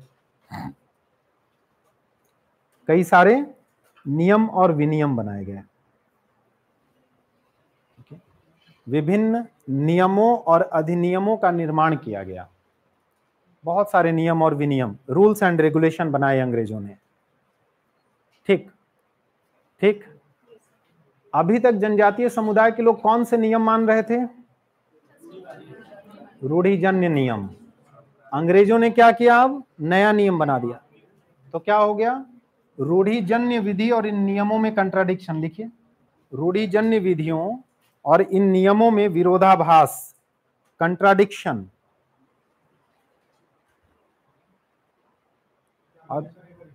रूढ़िजन्य विधियों और इन नए नियमों में विरोधाभास कंट्राडिक्शन हो गया। Contradiction between customary laws and new rules and regulations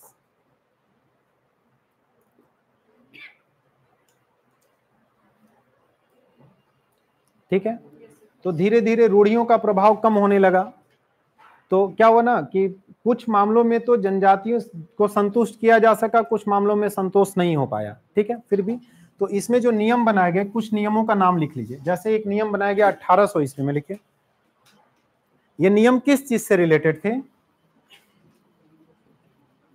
कारण क्या था? ये भूमि संबंधी थे हम बाद में बताएँगे आपको। 1800 में एक नियम बनाया गया। अठारह सौ सैंतीस में कुछ नियम बनाए गए। ऐसे करके लिखिए। अठारह सौ उनसठ में कुछ नियम बनाए गए। लिखते चलिए। इन नियमों का उद्देश्य क्या था? नियमों का उद्देश्य क्या था? भूमि संबंधी विवादों का समाधान करना। लिख लीजिए। इन नियमों का उद्देश्य भूमि संबंधी विवादों का समाधान करना था। Objective of these rules and regulations are to resolve land related disputes land related dispute समझ में आ रही है बात? ऑनलाइन में जो लोग हैं, वो लोग भी बताइए, समझ में आ रही है? आ रही बात समझ में? तो इन नियमों का उद्देश्य था कि उनके जो लैंड से रिलेटेड डिस्प्यूट्स थे। अच्छा एक वर्ड होता है नियम। एक वर्ड आपने क्या पढ़ा? नियम। एक वर्ड होता है विनियम। ये दोनों लगभग एक जैसा है। एक होता है अधिनियम। अधि का मतलब है अधिक। मतलब नियम क्या है? सुपीरियर है। तो ये ज़्यादा प्रभावी होंगे, कम प्रभावी। कम प्रभावी। और ये क्या होंगे? तो लिख लीजिए, नियम कम प्रभावी थे। नियम कम प्रभावी थे। मतलब इनका प्रभाव क्या था? कम था। तो जैसे सरकार कई बार कोई रूल बनाती है, रूल बना के उसको लागू कर दिया, आप बात नहीं मान रहे हैं तो सरकार पता है क्या करती है? फिर उसी रूल को कानून में बदल देती है। कानून में थोड़े कड़े प्रोविज़न कर देती है। तो लिखिए कि नियम कम प्रभावी थे जिसके परिणाम स्वरूप अंग्रेज़ों ने कई अधिनियम बनाए। यहाँ से अब अधिनियम का दौर शुरू हो गया। अब एक्ट यहीं से आने लगा। क्या क्या समझ में आया? पहले कौन से नियम थे? कस्टमरी लॉ फिर अंग्रेज़ों के कुछ नियम आए। आपस में क्लैश हुआ। नियमों का प्रभाव कम रहा। अंग्रेज़ों को लगा कि भाई, इन नियमों से हम यहाँ पे अपना शासन स्थापित। तब उन्होंने क्या किया? तो सबसे पहले कौन सा अधिनियम बनाया गया, जानते हैं? अठारह सौ उनहत्तर ईस्वी में कहाँ तक पहुँच गए अठारह तक। इसके 10 साल के बाद 18 यहाँ से बहुत ध्यान से समझिएगा मेरी बात। अभी तक तो बैकग्राउंड समझ रहे थे, ताकि आगे की बातों को कनेक्ट कर सकें। अब जो लैंड रिलेटेड लॉज हैं, कानून है, वहाँ से क्वेश्चन यहीं से शुरू होगा। एक तो लॉ में यहाँ से भी पूछ सकता है, बाकी तो बैकग्राउंड की बात है, यहाँ से क्वेश्चन शुरू होगा। अठारह ईस्वी में झारखंड के क्षेत्र में एक कानून बनाया गया। क्या नाम है, जानते हैं? छोटा नागपुर टेन्योर्स एक्ट 1908 वाले का क्या नाम है? इसका भी नाम है सीएनटी इसको भी सीएनटी बोल सकते हैं। इसको भी क्या बोल सकते हैं? छोटा नागपुर टेन्योर्स एक्ट लेकिन ये सीएनटी 1908 वाला नहीं है। तो टेन्योर्स और टेनेंसी दोनों में क्या डिफरेंस है? बाद में हम लोग जब टर्मिनोलॉजी पढ़ेंगे तो वो क्लियर हो जाएगा।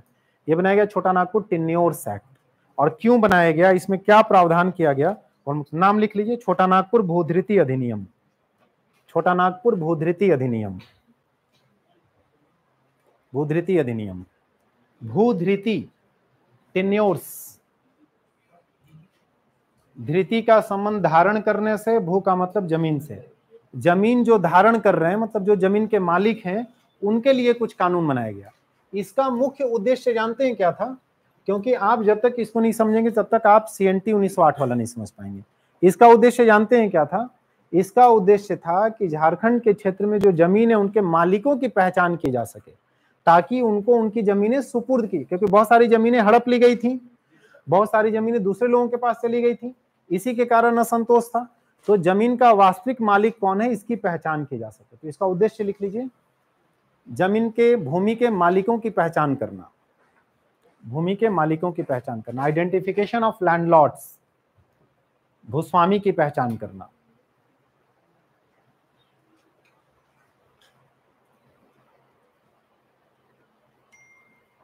आई बात समझ में? तो कैसे पहचान करेंगे? कैसे पहचान करिएगा? जैसे मान लीजिए इतने बड़े क्षेत्र में पर, पता लगाना है कि ये ज़मीन इनकी है इनकी है कि नहीं किसी और की है तो कैसे पता है? तो सर्वे करना पड़ेगा। तो लिख लीजिए, इसमें सर्वेक्षण का प्रावधान किया गया। सर्वेक्षण का प्रावधान। सर्वेक्षण का प्रावधान किया गया। अब देखिए, यहीं से एक दो बात जो बहुत टेक्निकल है और बहुत ज़रूरी है, उसको हम लोग समझते चलते हैं, है ना? झारखंड में आपको पता है कि यहाँ पे जनजातियों के आने के पहले झारखंड का क्षेत्र कैसा था? जंगली था। घनघोर जंगल थे। बड़े बड़े मज़बूत मज़बूत पेड़ थे। और यहाँ पे रहने जैसी कोई जगह नहीं थी। लेकिन पहली बार जब यहाँ जनजातीय समुदाय के लोग आए 600 बीसी में मुंडा या और भी दूसरे जनजातीय समुदाय के लोग आए तो उन लोगों ने यहाँ के जंगलों को साफ़ करके उसको रहने योग्य जगह बनाया। वहीं से एक वर्ड क्रिएट किया गया, खुटकट्टी भूहरी खुटकट्टी मुंडा खुटकट्टीदार, मुंडारी, खुट, ये सब वर्ड क्रिएट किया गया। तो एक्चुअली इनको क्या पहचानना था कि ये जो ज़मीन है, इसको वास्तव में किसने डेवलप किया था? इसका ओरिजिनल मालिक कौन है? और उसके लिए एक शब्द गढ़ा गया। इस कानून में एक शब्द गढ़ा गया भूहरी तो पहली बार भूहरी ज़मीन की चर्चा किस कानून में की गई, पूछा जाएगा। अठारह सौ उनहत्तर के छोटा नागपुर टिन्योर एक्ट भूमि धारण करने वाले को क्या नाम दिया गया? भूहरी समझ में आ गया? और सर्वे में यह पता लगाना था कि कौन सी ज़मीन भूहरी है और उसका मालिक कौन है। लेकिन जानते इसमें एक समस्या आ गई। क्या आया? भूहरी की चर्चा तो की गई, बट भूहरी की परिभाषा नहीं दी गई। मेरी बात समझ में आए? इस कानून में भूहरी को परिभाषित नहीं किया गया। मैं आपको बोलूँ कि कौन झारखंड का मूल निवासी है, इसका पता लगाइए। और मूल निवासी की परिभाषा क्या है, ये बताया ही नहीं जाए। यही प्रॉब्लम है ना झारखंड में। भाई, लोग कह रहे हैं कि झारखंड में बाहरी और जो झारखंडी, ये एक इशू है। ये आपको जानना चाहिए। झारखंडी और बाहरी का एक इशू है। कौन बाहरी है, कौन आंदोलन खूब होता रहता है, सारे बाहरियों को भगा देंगे, कोई नौकरी नहीं करेगा। चल रहा है ना ये? मैं भी कह रहा हूँ, मैं इसके विरोध में नहीं हूँ। मैं भी कह रहा हूँ कि झारखंड पे झारखंडियों का पहला हक मिलना कौन है झारखंडी? सरकार करी 1932 का खतियान लागू कर देंगे। पहले बताओ तो सरकार कह रही है ना कि जो स्थानीय लोग हैं, उनको 60 परसेंट, फोर्टी परसेंट स्थानीय स्थानीय है कौन? परिभाषित तो करो। कैसे परिभाषित करिएगा? तो भाई जिसको अधिकार देना उसकी परिभाषा होनी चाहिए। देखिए, वो जो प्रॉब्लम आज क्रिएट हुआ है यहाँ, ये प्रॉब्लम यहाँ भी था, परिभाषा ही नहीं थी। झारखंडी की कोई परिभाषा नहीं है।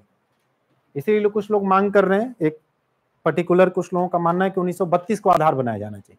अब 1932 में समस्या है कि 1932 को आधार बनाते हैं, वो ठीक है वहाँ तक। लेकिन 1932 में जो सर्वे हुआ, बहुत लिमिटेड एरिया में हुआ। तो जहाँ सर्वे नहीं हुआ, वहाँ का डॉक्यूमेंट नहीं है। फिर वहाँ वाले लोग जो है, वो और क्या होगा इससे जो अवसर की समानता है, उसका उल्लंघन हो जाएगा। इसीलिए राज्यपाल ने रिजेक्ट कर दिया। कोर्ट में भी जाएगा तो फंस जाएगा मामला। ठीक? हो नहीं पा रहा है। तो ये प्रॉब्लम यहाँ भी था। भूहरी ज़मीन की बात तो की गई, लेकिन भूहरी कौन है, इसकी परिभाषा नहीं दी गई। तो इससे क्या होगा? सर्वे में समस्या आएगी। तो लिख लीजिए। सर्वे में समस्या। प्रॉब्लम इन सर्वे सर्वे में समस्या आएगी ठीक लेकिन इसमें कुछ प्रोविज़न किया गया। एक दो प्रोविज़न जान लेते हैं हम लोग। इसमें कहा गया कि जो भूहरी ज़मीन होगी that will be non transferable भूहरी ज़मीन को कोई ट्रांसफ़र नहीं कर सकता। किसी को नहीं बेच सकता। ऐसा नहीं कि भूहरी भूहरी को बेच सकता है। इसमें क्या प्रोविज़न किया गया कि ट्रांसफरेबल ही नहीं है। जो भूहरी ज़मीन है, उसका मालिक, उसका वंशज होगा। आज अगर मेरे पास है तो इसका मालिक कौन होगा? मेरा वंशज होगा, मेरा पुत्र, मेरा जो पुत्र के बाद वाला है, और इसमें केवल लड़कों को अधिकार दिया गया। इसमें नर वंशज की बात की गई। तो नॉन ट्रांसफरेबल होगा, और इसका अधिकार किसके पास होगा? इस ज़मीन का डिसेंडेंट्स के पास। मेल डिसेंडेंट्स नर वंशज ही इसके अधिकारी हो सकते हैं। आ रही बात समझ में? अगर घर में किसी के लड़का और लड़की दोनों हैं तो लड़की को कोई राइट नहीं होगा, लड़का को ही राइट होगा। इसको लेकर सुप्रीम कोर्ट में मामला भी पहुँचा, कुछ संशोधन भी हुआ सीएनटी में। आप जानते होंगे ये बात। सुप्रीम कोर्ट में लोगों ने कहा कि भाई, देश में तो कानून है ना, लड़का लड़की एक समान। भाई, पिता की संपत्ति में पुत्री का भी अधिकार है। तो ये सब बाद में आप जानेंगे। यहाँ तक बात समझ में आ गई। और दूसरा क्या किया गया कि ये जो भूहरी ज़मीन है, इसका वर्गीकरण किया गया। कि भूहरी ज़मीन में किस किस प्रकार की ज़मीन हो सकती है? किस किस प्रकार की ज़मीन को भूहरी ज़मीन कहा जाएगा? या भूहरी का वर्गीकरण किया गया?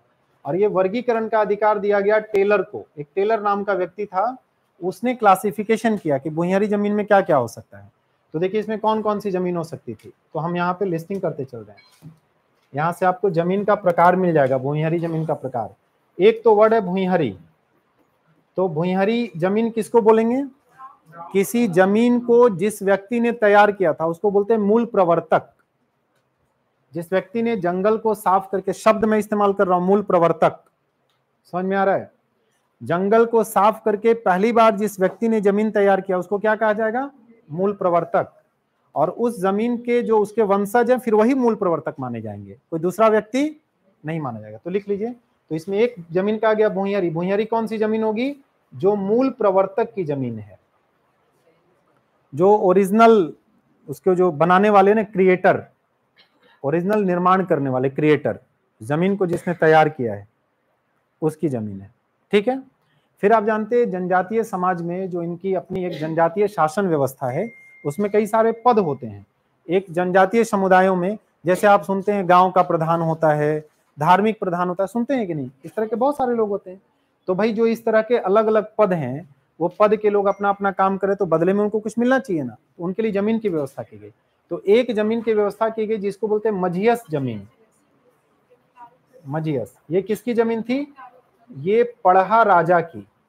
जमींदारों की नहीं। जो पढ़ा राजा होगा। पढ़ा पंचायत शासन व्यवस्था किस किसकी व्यवस्था है? उराव की। तो उराव जनजातियों में जो पढ़ा पंचायत का प्रमुख होगा उसकी ज़मीन। इसका मतलब मान लीजिए मुड़ा मुझे पढ़ा पंचायत का बनाया गया प्रधान तो मैं इस ज़मीन का मालिक हो गया। मुझे हटा के किसी और को बना दिया गया तो उसको नई ज़मीन दी जाएगी या वही वाली दी जाएगी? वही वाली देगी ज़मीन पढ़ा पंचायत की है। जैसे प्रधानमंत्री कार्यालय में कुर्सी लगा हुआ है। मनमोहन सिंह जब थे तो वो बैठते थे। अब मनमोहन सिंह हट के थोड़ी जो कुर्सी लेके घर जाएँगे, मोदी जी उसी कुर्सी पे बैठेंगे। प्रधानमंत्री की कुर्सी जो बनेगा वही बैठेगा। ऐसे ही ज़मीन पढ़ा राजा की है। जो पढ़ा राजा होगा उसकी ये ज़मीन होगी। इसका मतलब इससे जो उपज तैयार होगा वो पढ़ा राजा का उस पर अधिकार होगा। वो खाए किसी को दे दे वो अलग बात है। उसी का उस पर अधिकार। क्लियर हो गया? पढ़ा राजा अपनी ज़मीन पे खुद से खेती करेगा? राजा है ये। खुद से करेगा? कुछ लोगों से करवाएगा। जिसको करवाता था पढ़ा राजा खेती उस जो लोग इसकी ज़मीन पे खेती करते थे उनको खेती करने के बदले में कोई पैसा नहीं मिलता था या उपज का हिस्सा नहीं मिलता था। तो इसके लिए एक व्यवस्था किया गया। इनको कहा गया कि तुमको हम, हमारी ज़मीन पे खेती करने के बदले तुमको अलग से एक ज़मीन दे दी जाएगी, जिसके उपज पे न तो तुमको टैक्स देना है, न किसी को बांटना है, तुम्हारी उपज खुद की होगी। समझ में आए उस ज़मीन को क्या कहते हैं? बेट खेता। बेट या बैट खेता या भेंट खेता भी कहा जाता है। भेंट स्वरूप दिया गया। तो भेंट खेता ज़मीन कौन सी है? तो लिख लीजिए कि मझियस ज़मीन पर मझियस ज़मीन पर निःशुल्क या बेकारी करने वाले श्रमिकों की, बेकारी करने वाले श्रमिकों की ज़मीन को क्या कहा गया? बैठ खेता ज़मीन। बैठ भूहरी बैठ खेता। सब में भूहरी शब्द आप जोड़ सकते हैं।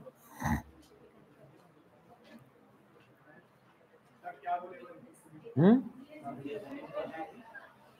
मझियस ज़मीन पर मझियस ज़मीन पर मजदूरी करने वाले मजदूरी करने वाले श्रमिकों को दी जाने वाली ज़मीन। श्रमिकों को दी जाने वाली ज़मीन। इसी तरह से गाँव में कई पद थे। गाँव के प्रमुख को क्या कहते थे? महतो। गाँव का एक प्रमुख है जिसको क्या कहते हैं? महतो। तो उसके लिए एक ज़मीन बनाई गई जिसको कहते हैं महतई। भूहरी महतई।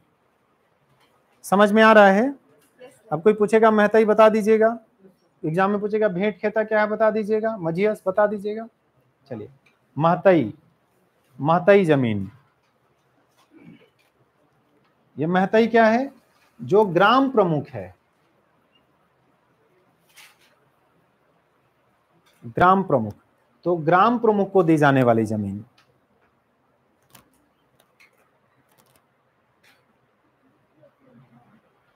और ग्राम प्रमुख का मुख्य कार्य क्या था? लगान वसूलना। लगान वसूल। इसी तरीके से गाँव में एक धार्मिक प्रमुख होता था, जिसको क्या कहते थे? पाहन। तो उसकी एक ज़मीन थी, जिसको क्या कहेंगे? पहनई। देखिए, पहनई। ये किसको दिया गया?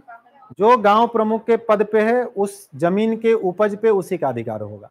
भाई, इतना गाँव में सबका पूजा पाठ करवा रहा है तो उसको मिलना चाहिए ना? तो ज़मीन उसके नाम से हो गई। वो पद से हटेगा तो ज़मीन लेके नहीं हटेगा, फिर जो नया बनेगा, उसको हो जाएगी ज़मीन। है ना? क्योंकि ये ज़मीन जो है, ये सार्वजनिक है। इस ज़मीन का ट्रांसफ़र क्यों नहीं हो सकता? क्योंकि किसी व्यक्ति की ज़मीन नहीं है, ये समाज की ज़मीन है, समुदाय की ज़मीन है। इसलिए इसको ट्रांसफ़र नहीं, बेच नहीं सकते। भाई पाहन जो है, वो समाज का पाहन है किसी व्यक्ति का पाहन है? तो जो दूसरा पाहन आएगा। अब मान लीजिए कोई डीसी बन गया तो सामाजिक पद है ना एक सभी के लिए। अब डीसी साहब बोलेंगे कि नहीं, हम हैं, तीन करोड़ रुपया लेके किसी और को बना देंगे। नहीं ना हो सकता है ये। हम अपनी कुर्सी बेच देंगे तीन करोड़ में। आप वीडियो बनेगा बोलेगा पचास लाख में हम बेच देंगे। नहीं हो सकता ऐसा। समझ पा रहे मेरी बात? हाँ। वो अलग बात है कि एग्ज़ाम में सिलेक्शन से पहले बिकता खरीदा जाता रहता है। हाँ, थोड़ा बहुत देख ही रहे हैं आप जेएसएससी में जाँच पड़ताल चल इसी तरीके से गाँव में एक था पनभरा। पनभरा याद नहीं रहेगा तो पानी भरने वाला ऐसे याद कर लीजिएगा। मेनली ये क्या था? ये पाहन का सहयोगी है। ये गाँव में सेवादार है, ये सेवा करता है, मैसेंजर है, मैसेज पहुंचाता है लोगों तक। तो इस काम के लिए इसको पनभरा भूहरी पनभरा बोलते हैं। इसको ज़मीन दी गई। तो ये ज़मीन किसकी है? सेवादार की। सेवादार। ये ज़मीन किसकी है? धार्मिक प्रमुख की, पाहन की। एक ज़मीन बनाई गई जिसको कहते हैं डाली कटारी। डाली शब्द कहाँ से लिया गया? पेड़ की डाली से। जनजातीय समुदाय में कर्म के पेड़ को, कर्म के पौधे को बहुत महत्व दिया जाता है। और जानते हैं, कर्म पर्व के दौरान उसकी डाली तोड़ के लगाई जाती है, उसकी पूजा की जाती है। तो ये ज़मीन शब्द वहीं से दिया गया। तो इस ज़मीन का क्या मतलब था कि इस ज़मीन पे जितना भी उपज होगा, उसका संबंध पूजा पाठ से होगा। उस उपज का इस्तेमाल ईश्वर के लिए किया जाएगा, नेचर के लिए किया जाएगा, ठीक है? तो लिख लीजिए, उपज का ये किसी व्यक्ति का नहीं है। उपज का प्रयोग लेकिन किसके अंडर में रहेगा ये? पाहन के अंडर में रहेगा। तो इस पे जो अधिकार रहेगा पाहन का बट पाहन इसका उपज का उपयोग नहीं कर सकता। पाहन इस उपज का उपयोग पर्सनली उसके लिए कर सकता है। ये रहेगा पाहन के अंडर में, क्योंकि पूजा उसी को कराना है। लेकिन इसके उपज का प्रयोग किस लिए किया जाएगा? पूजा पाठ हेतु। पूजा पाठ के लिए। इसी तरीके से एक ज़मीन था, भूत खेता। देखिए, बेट खेता अलग है। भेंट खेता, बेट खेता अलग है। ये क्या है? भूत खेता। भूतों से संबंधित पूजा पाठ करने के लिए इस उपज का प्रयोग किया जाएगा। लिख लीजिए, क्योंकि जनजातीय समुदाय में भूत, ऊत ये सब एक सामान्य मानता है कि भाई भूतों को दूर भगाना है, दूर रखना है, उनको नहीं आने देना है। इसलिए आत्मा की पूजा करते हैं। शासन सुना होगा आपने, हड़गड़ी सुना होगा आपने, है ना? तो लिख लीजिए, इस उपज का प्रयोग भूतों की पूजा के लिए। तो ये भी कौन करवाएगा? पाहन। तो ये रहेगा पाहन के पास, बट उपज का इस्तेमाल भूतों की पूजा के लिए, आत्माओं की पूजा के लिए किया जाएगा। समझ में आ गया? कोई कंफ्यूजन नहीं है। ये जो भेंट खेता ज़मीन है, बैठ खेता, भेंट खेता किसको दिया गया? जो इस पे। तो इस पे जो काम कर रहे हैं, उनको बोलते हैं बेगारी करने वाले लोग। बैठ बेगारी, एक शब्द मिलेगा। बैठ बेगारी सीएनटी में एक शब्द मिलेगा आगे जाके। बैठ बेगारी का क्या मतलब है? बैठ खेता अलग है, बैठ खेता ज़मीन है बैठ बेगारी वो व्यक्ति है जिसको काम के बदले कुछ पैसा नहीं दिया जाता। उससे बैठा के बेगारी करवाया जाता है। तो ये बेगारी करने वालों की ज़मीन है। तो ज़मीन का क्राइटेरिया पता चल गया? कोई कंफ्यूजन नहीं है? यहाँ तक बात समझ में आई? अब देखिए, इसमें एक प्रोविज़न किया गया। बात नहीं। मैं धीरे धीरे आराम आराम से पढ़ा रहा हूँ ताकि बाउंस न करे। आप सारी बात को स्पष्टता से समझ लीजिए। अगर अभी लग रहा है कि कोई बात नहीं समझ आ रही कि नहीं सर, ये क्या पढ़ रहे हैं? सब लग रहा है मंगल ग्रह पे पहुँच गए, बुध पे पहुँच गए तो बताइए मुझे। कुछ ऐसा लग रहा है? चक्कर वक्कर नहीं आ रहा है ना? हाँ? झारखंड में सीएनटी एसपीटी का नाम सुन के लोगों को हाँ बोलिए, पीछे। बैठ बेगारी, बैठ खेता बेगारी नहीं, बैठ बेगारी। एक शब्द है बैठ खेता एक शब्द है बैठ बेगारी। बैठ बेगारी का मतलब बैठ के बेगारी करने वाले मतलब उनको बुला के और बैठ खेता ऐसे लोगों को दी जाने वाली ज़मीन। क्लियर हो गया? अब देखिए, इसमें प्रोविज़न किया गया। क्या प्रोविज़न किया गया? इसमें प्रोविज़न किया गया कि भाई इस इस कानून का उद्देश्य क्या है? इस एक्ट का उद्देश्य क्या है? भूहरी ज़मीन का सर्वे, कौन करेगा सर्वेक्षण? तो इसमें प्रोविज़न किया गया कि एक विशेष अधिकारी की नियुक्ति की जाएगी। विशेष अधिकारी की स्पेशल ऑफिसर जो कौन होगा? सर्वेयर होगा। एक सर्वेयर के रूप में विशेष अधिकारी की नियुक्ति का प्रावधान किया गया। लिख लीजिए। इसे विशेष आयुक्त कहा गया। Special commissioner. इस पद को कहा, क्या कहा गया? विशेष आयुक्त। तो जो विशेष अधिकारी नियुक्त किया जाएगा, उसको क्या कहा जाएगा? Special commissioner. जिसका काम क्या होगा? ज़मीन का सर्वेक्षण करना। ज़मीन का सर्वेक्षण करके रिकॉर्ड ऑफ़ राइट्स तैयार करना। लिख लीजिए, इसका कार्य इसका कार्य, भूमि का सर्वेक्षण करके अभिलेख पत्र तैयार करना था। स्पेशल कमिश्नर विशेष आयुक्त।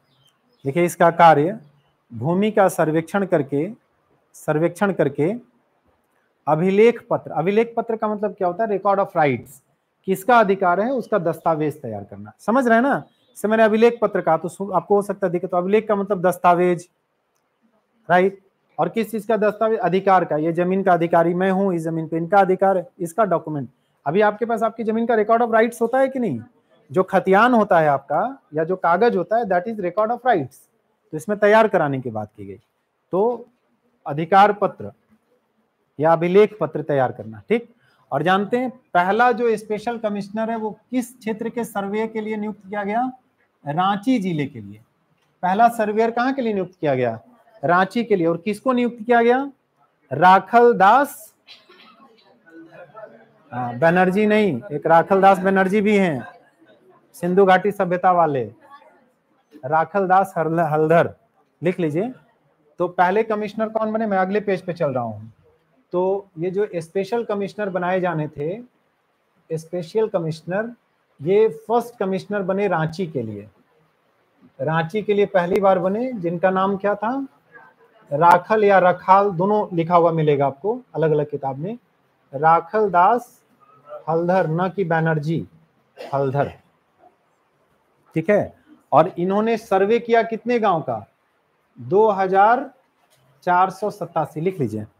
इन्होंने सर्वे किया दो हज़ार चार सौ बयासी, नोट सतासी दो हज़ार चार सौ बयासी गाँव का सर्वे इन्होंने किया। लेकिन सर्वे के दौरान क्या इनको कोई समस्या आई होगी? सबसे बड़ी समस्या क्या आई होगी इनको? कि भूहरी का कोई परिभाषा? लिखे भूहरी की परिभाषा नहीं होने के कारण सर्वे में समस्या आई। फिर भी इन्होंने सर्वे किया। इनका सर्वे एक अप्रैल अठारह से इनका जो सर्वे चला, उसका ड्यूरेशन था एक अप्रैल अठारह से 31 मार्च 1880 तक इन्होंने सर्वे किया और चौबीस गाँव का सर्वे करके रिकॉर्ड ऑफ़ राइट्स तैयार कर दिया। तो अठारह के कानून की प्रमुख बात आपको पता चल गई। बता दीजिएगा, आप कोई पूछेगा तो। बोलेगा, नहीं आता है। आई बात समझ में? पता चल गया आपको?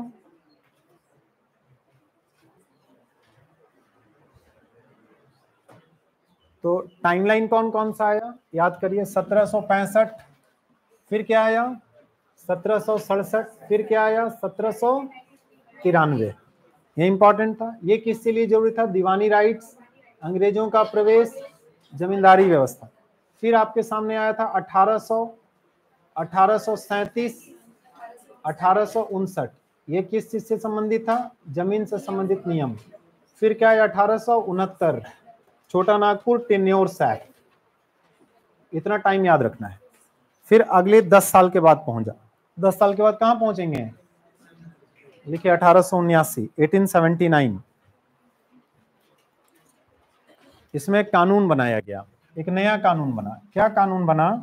यही जो लिखा ना, दो अलग कानून, दो सवाल, अन्य राज्य पर कानून, यही है, यही सबसे पूछा जाएगा। क्या बनाया गया? छोटा नागपुर। लैंडलॉर्ड, ज़मीन है तो उसका कोई ना कोई लैंडलॉर्ड होगा कि नहीं होगा, बताइए। लैंडलॉर्ड, और जिसकी ज़मीन है, ज़रूरी नहीं कि अपनी ज़मीन पे खुद खेती करे। अभी झारखंड में आपके किसके किसके पास ज़मीन है यहाँ? अपना, जिनके पिताजी वगैरह का होगा। कौन है उसका लैंडलॉर्ड? हाँ? सरकार सीओ लैंडलॉर्ड होगा। सरकार। नहीं नहीं वैसे सीओ बोलिए, गड़बड़ हो जाएगा एग्ज़ाम में। सीएनटी एक्ट में प्रोविज़न है भाई। अभी अंग्रेज़ों के जमाने में लैंडलॉर्ड कौन था? अंग्रेज़ों के जमाने में भूस्वामी कौन था? अंग्रेज़? या फिर कौन हो गया? जमींदार? अंग्रेज़ों ने जिसको अपने बिहाफ में बना दिया। और जमींदारी व्यवस्था खत्म होने के बाद लैंडलॉर्ड कौन हो गया? सरकार? भारत सरकार? या किसी राज्य? क्योंकि भूमि का विषय नौवीं अनुसूची में डाला गया और नौवीं अनुसूची में भूमि का विषय डाला गया, राज्य का विषय है। और नौवीं अनुसूची में डालने का मतलब इसको कोर्ट में नहीं घसीटा जा सकता। तो अब कौन है? राज्य सरकार। झारखंड की ज़मीन का भूस्वामी कौन है? राज्य सरकार। बिहार की ज़मीन का बिहार सरकार। बंगाल का। समझ पाए मेरी बात? तो इस समय जो लैंडलॉर्ड था तो अब सरकार थोड़ी जो अपनी ज़मीन पे खुद जाके घर बनाएगी, खेती करेगी, उस पर तो आप रहते हैं, आप खेती करते हैं। तो लैंडलॉर्ड क्यों है सरकार? सरकार को भूस्वामी क्यों बोले क्योंकि जो स्वामी होगा उसको लगान मिलेगा। यानी जो लगान पा रहा है वही भूस्वामी है। और जो लगान दे रहा है वो काश्तकार है। तो आप कौन हो गए इस ज़मीन के? काश्तकार। अब देखिए, काश्तकार का दो अर्थ है तो आप बार बार कंफ्यूज होंगे। सामान्य तौर पर एक वर्ड है रैयत, एक वर्ड है काश्तकार। सीएनटी एक्ट में टेक्निकल ग्राउंड पे देखिएगा तो दोनों में थोड़ा सा अंतर है, क्योंकि काश्तकार का दायरा काफ़ी बड़ा है। काश्तकार का एक टाइप है रैयत। लिखा हुआ है क्लास ऑफ़ टिनेंट्स काश्तकारों के प्रकार। उसमें है रैयत, अधिभोगी रैयत, गैर अधिभोगी मूल रैयत, खुंटकट्टीदार। ऐसे करके है ना, दर रैयत, कोई दिक्कत नहीं है। तो इसका मतलब है काश्तकार का दायरा बड़ा है लेकिन सामान्य तौर पर काश्तकार और रैयत को, रैयत का सामान्य मतलब किसान। अब मान लीजिए, मैं सरकार को किराया दे रहा हूँ मतलब ज़मीन का रसीद कटवा रहा हूँ तो लैंडलॉर्ड तो सरकार हो गई। मैं तो किराएदार हूँ ना, वो ठीक बात है, मैं उस पर घर बना रहा हूँ, मैं उस पर खेती कर रहा हूँ। तो जब मैं खेती कर रहा हूँ तो मैं रैयत भी हूँ और मैं चूँकि सरकार को किराया दे रहा हूँ, इसलिए मैं काश्तकार भी हूँ। समझ में आया? तो इस समय जो लैंडलॉर्ड था और जो काश्तकार था, जो इसका टिनेंट था टिनेंट इन दोनों के बीच लड़ाई हो सकता था, किसी बात को लेकर डिस्प्यूट हो सकता था तो उसकी प्रक्रिया कैसे चलेगी? इसको लेके कानून बनाया गया। Chota Nagpur landlord tenants procedures act procedures act अठारह में, लिख लीजिए। एक इंपॉर्टेंट कानून था। हम्म? क्या? लिखिए छोटा नाग कास्तकार प्रक्रिया अधिनियम, भूस्वामी कास्त प्रक्रिया अधिनियम। आ रही है बात समझ में?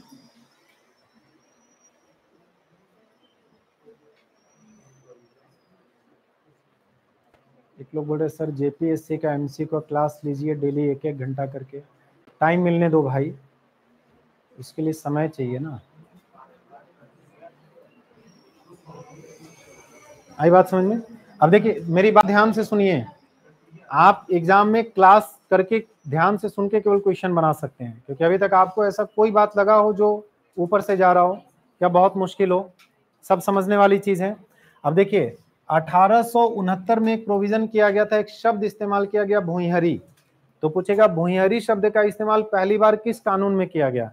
अठारह सौ उनहत्तर में। लेकिन पूछा जाएगा, खुटकट्टी शब्द का इस्तेमाल पहली बार किस कानून में किया गया? तो यही किया गया। तो इसमें भूहरी का इस्तेमाल तो किया ही गया, क्योंकि वो पहले से चला रहा है। इसमें, इसके साथ साथ खूंटकट्टी खूंट कट्टी भूमि का भूमि का प्रयोग किया गया।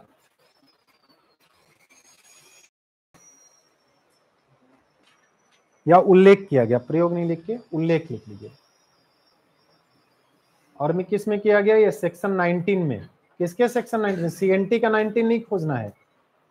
Chota Nagpur landlord tenant procedure act के सेक्शन 19 में भूहरी और खुटकट्टी ज़मीन का उल्लेख किया गया।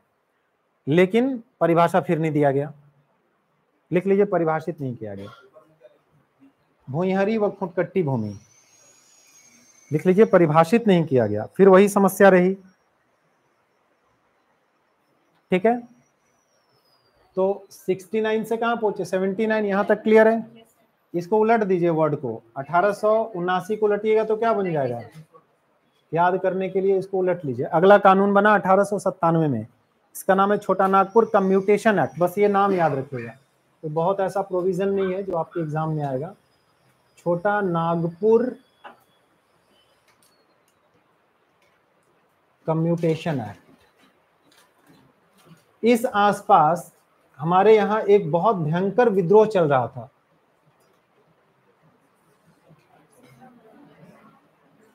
कौन सा विद्रोह चल रहा था? झारखंड में अभी तक किए गए विद्रोहों में एक बड़ा, व्यापक और प्रभावी विद्रोह था। इससे पहले एक विद्रोह चला सरदारी आंदोलन। कब चला सरदारी आंदोलन? अठारह सौ?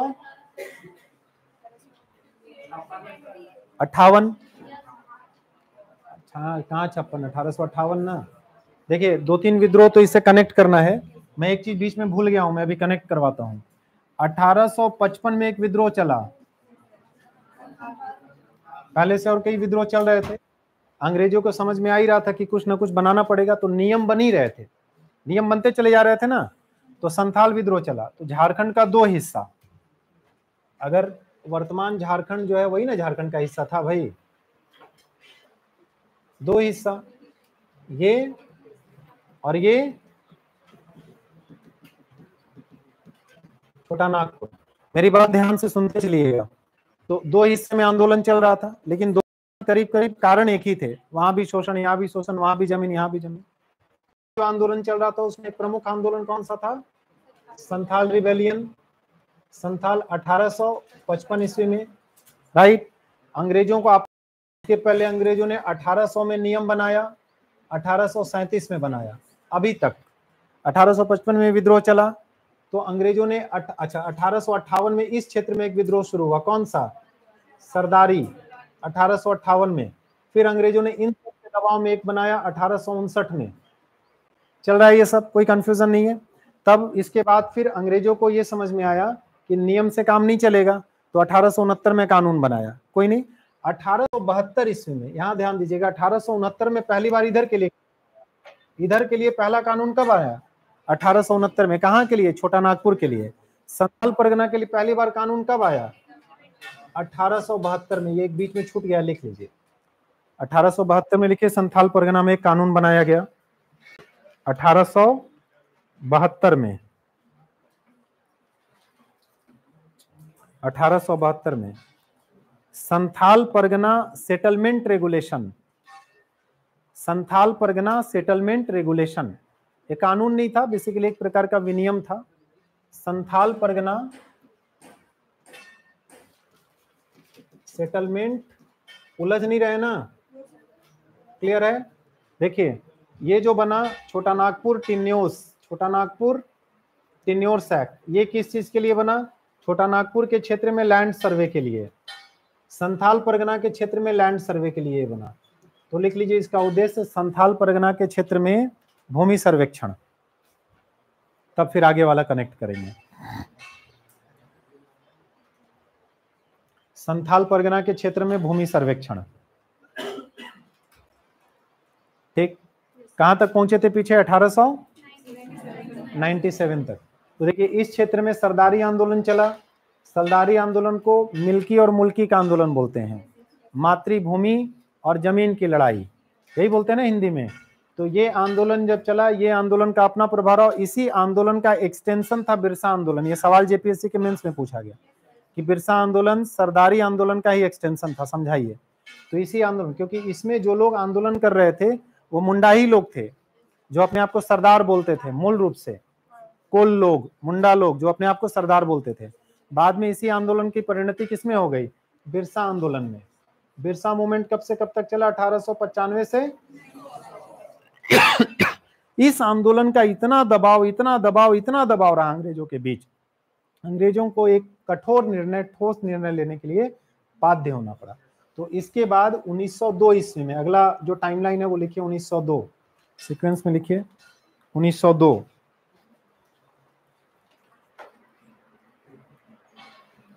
1902 में एक अंग्रेज़ अधिकारी था जिसका नाम था फारबेस।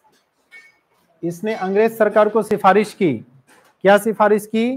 कि यहाँ की जमीनों का मौजावार सर्वे किया जाए। मौजा, खाता प्लॉट, ये सब सुनते होंगे ना? मौजावार सर्वे प्रारंभ किया जाए। लिख लीजिए। 1902 में फारबेस की सिफारिश पर, फारबेस अंग्रेज़ अधिकारी था, उसकी सिफारिश पर रांची जिला में, रांची जिला में भूमि बंदोबस्ती सेटलमेंट लैंड सेटलमेंट तथा मौजावार सर्वे प्रारंभ किया गया।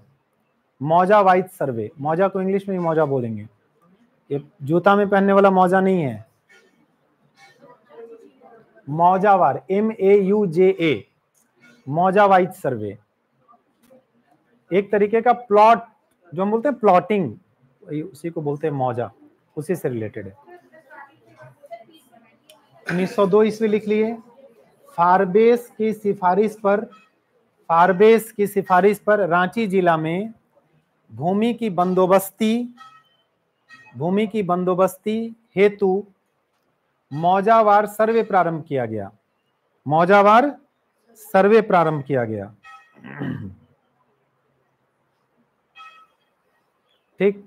ये सर्वे किसके नेतृत्व में चला ये पूछेगा। एक व्यक्ति आया फॉरबेस और फॉरबेस ने क्या कहा? लैंड सेटलमेंट एंड मौजावार सर्वे ये सर्वे किसके नेतृत्व में चला? लिस्टर एंड जॉन रीड लिख लीजिए। लिस्टर और जॉन रीड के नेतृत्व में ये सर्वे 1902 ईस्वी से लेके 1910 ईस्वी तक किया गया। John Reed Reed, John Reed और Lister. John Reed, R double E D लिख लीजिए और लिस्टर। लिस्टर और जॉन रीड के द्वारा 1902 से 1910 तक सर्वे किया गया। ठीक है? जिसका उद्देश्य था खेवट व खतियान का निर्माण। खेवट खतियान क्या होता है? ज़मीन का जो पूरा डॉक्यूमेंट है ना, किसकी है, क्या है जिसको रिकॉर्ड ऑफ़ राइट्स भी बोल सकते हैं, लिखे। इसका उद्देश्य था खेवट खतियान या रिकॉर्ड ऑफ़ राइट्स तैयार करना। रिकॉर्ड ऑफ़ राइट्स तैयार करना।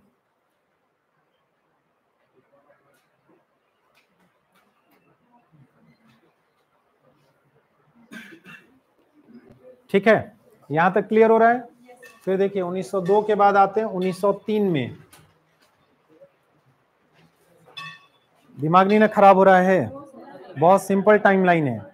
एकदम फिंगर पॉइंट फिंगर टिप्स पे टाइमलाइन आ सकता है। सत्रह सौ पैंसठ, सड़सठ, तिरानवे, अठारह सौ अठारह सौ सैंतीस, अठारह सौ उनसठ, अठारह सौ उनहत्तर, अठारह सौ बहत्तर राइट फिर एटीन 97 फिर 1900 1902 1902 उसके बाद आप किस पे आ गए? 1903 केवल आपको ये टाइमलाइन याद रहेगा तो अपने आप याद आ जाएगा क्या होगा 1903 में क्या किया गया? जो अठारह सौ उनहत्तर में कानून बनाया गया था, कौन सा? छोटा नागपुर टीनो तीन, छोटा नागपुर टीन उसमें संशोधन किया गया, लिखिए। छोटा नागपुर टीनियोर्स एक्ट में संशोधन।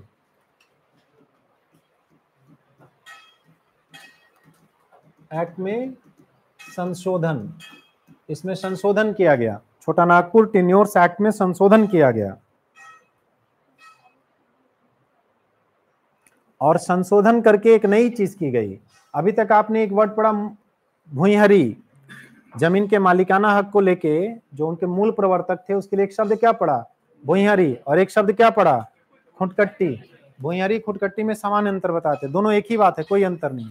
भूहरी शब्द का इस्तेमाल सामान्य तौर पर उराव जनजाति के लोगों के लिए किया जाता है। उराव जनजाति के ऐसे लोग जिनके पूर्वजों ने ज़मीन तैयार की थी। खूंटकट्टी शब्द का इस्तेमाल सामान्य तौर पर किसी भी जनजाति के लिए किया जाता है। मुंडारी के लिए नहीं, मुंडा के लिए ज़रूरी नहीं है। खूंटकट्टी एक कॉमन वर्ड है। मुंडाओं के लिए मुंडारी खूंटकट्टीदारी शब्द का इस्तेमाल किया जाता है। मुंडारी खूंटकट्टीदारी व्यवस्था को पहली बार इसी कानून में कानूनी मान्यता दी गई। लिख लीजिए। इस इस एक्ट का सबसे इंपॉर्टेंट प्रोविज़न यही है कि मुंडारी खूंटकट्टीदारी व्यवस्था को, मुंडारी खूंटकट्टीदारी सिस्टम को लीगल एक्सेप्टेंस कानूनी मान्यता दी गई। मुंडारी खूंट कट्टीदारी व्यवस्था को पहली बार कानूनी मान्यता दी गई। ठीक है? समझ में आ गया? और इसी वर्ष 1903 ईस्वी में एक और घटना घटी। John H. हॉफमैन ने CNT act, Chota Nagpur tenancy act, not tenures, Chota Nagpur tenancy act का ब्लूप्रिंट तैयार किया। लागू बाद में हुआ, ब्लूप्रिंट पहले तैयार हो गया। लेकिन 1903 में जॉन एच हॉफमैन ने छोटा नागपुर टेनेंसी एक्ट का ब्लूप्रिंट खाका प्रारूप तैयार किया। सत्रह को एग्ज़ाम हो जाएगा ना, क्योंकि अब बर्दाश्त के बाहर है।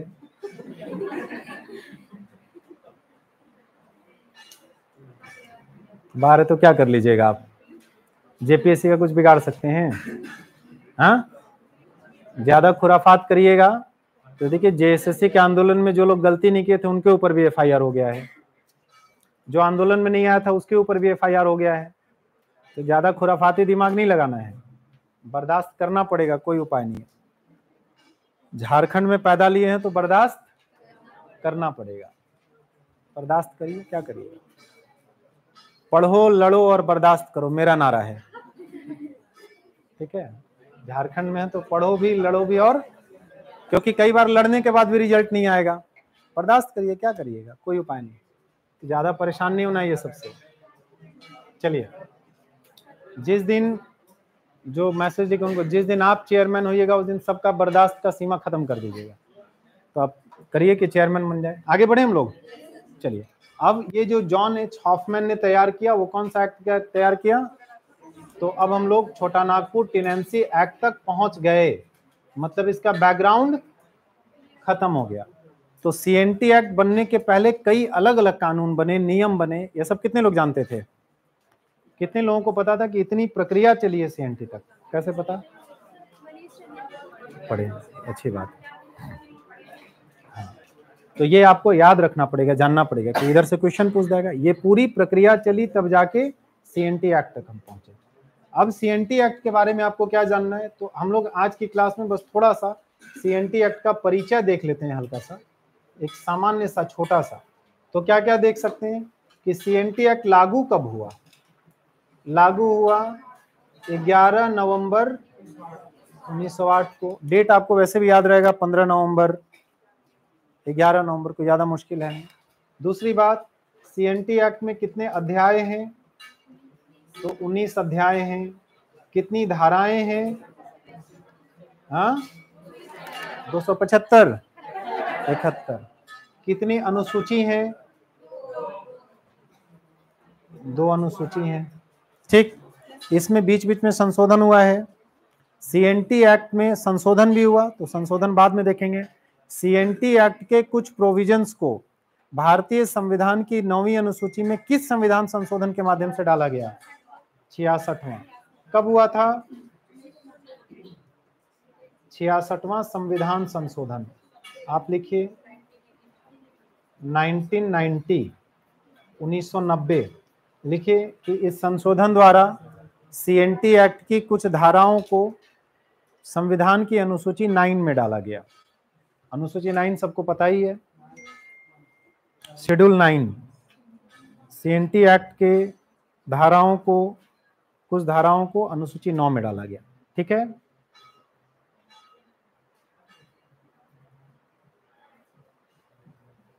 सीएनटी एक्ट को जब हमारे यहाँ लागू किया गया, उस समय गवर्नर जनरल कौन था? Lord Elgin. मतलब इसका आदेश किसने दिया होगा? Lord Elgin. तो एक बात और लिख लीजिए। ये जो सीएनटी एक्ट को झारखंड में लागू किया गया, ये council of India act council of India act क्योंकि पूरे भारत के लिए एक्ट है ना? काउंसिल ऑफ़ इंडिया एक्ट कौन सा? अठारह की धारा पाँच के तहत सीएनटी को झारखंड में लागू किया गया। ये लिख लीजिए, बहुत इंपॉर्टेंट है। लिखा हुआ है यहाँ बोर्ड पे। सीएनटी एक्ट को council of India act Bharat परिषद अधिनियम अठारह की धारा पाँच के तहत अधिनियमित किया गया, लागू किया गया। समझ में आया? धारा पाँच के तहत। अभी पीछे एक जगह धारा उन्नीस पड़े थे। धारा धारा में कंफ्यूज करिएगा। किसमें धारा उन्नीस पढ़े थे? अठारह वाले में, जिसमें पहली बार खूंटकट्टी लाया गया 1879 में। उसमें धारा, उस कानून की धारा 19 के तहत। ये काउंसिल ऑफ़ इंडिया एक्ट की धारा पाँच के तहत सीएनटी को लागू किया गया। और आदेश किसने दिया? गवर्नर जनरल कौन था? लॉर्ड एल्गिन, लिख लीजिए गवर्नर जनरल। हाँ एल्गिन। हम्म? नहीं, लॉर्ड, इस समय शायद लॉर्ड एल्गिन था। एक बार देख लीजिएगा, मेरे ख्याल से लॉर्ड एल्गिन है। पक्का? एल्गिन का दौर कब था? Elgin Elgin? एल्गिन 1905 में आया है। अरे, एल्गिन का ड्यूरेशन निकाल के बताइए ना हमको। एक बार देख लेंगे। कोई बात नहीं। मेरा वैसे भी हिस्ट्री अच्छा नहीं है। मैंने रिसर्च के दौरान ये पढ़ा कि एल्गिन के समय लागू हुआ। एक बार आप देख लीजिएगा, कोई बात नहीं। आगे बढ़ जाएँ। कोई कंफ्यूजन नहीं इसमें। एक सवाल आपसे पूछेगा कि ये जो सीएनटी एक्ट है, ये कौन से कानून से प्रभावित है? तो ये बंगाल काश्तकारी अधिनियम, लिख लीजिए कि ये बंगाल काश्तकारी अधिनियम अठारह से प्रभावित है। बंगाल काश्तकारी अधिनियम का प्रभाव है इस पर। बंगाल काश्तकारी अधिनियम अठारह सौ पचासी से प्रभावित है। और एक लास्ट इंफॉर्मेशन लिखिए। पूछेगा कि सीएनटी एक्ट को पहली बार कब, कहाँ प्रकाशित किया गया? तो सरकारी जो कानून है, नियम, उसको गजट में, बजट नहीं, गजट गजट गजट। अभी जितना नोटिफिकेशन आता है, सब गजट में आता है ना? तो कौन से गजट में? क्योंकि इस समय झारखंड तो था नहीं, बिहार भी नहीं था। तो बंगाल गजट में लिखे इसे पहली बार बंगाल गजट में प्रकाशित किया गया। बंगाल गजट में प्रकाशित किया गया।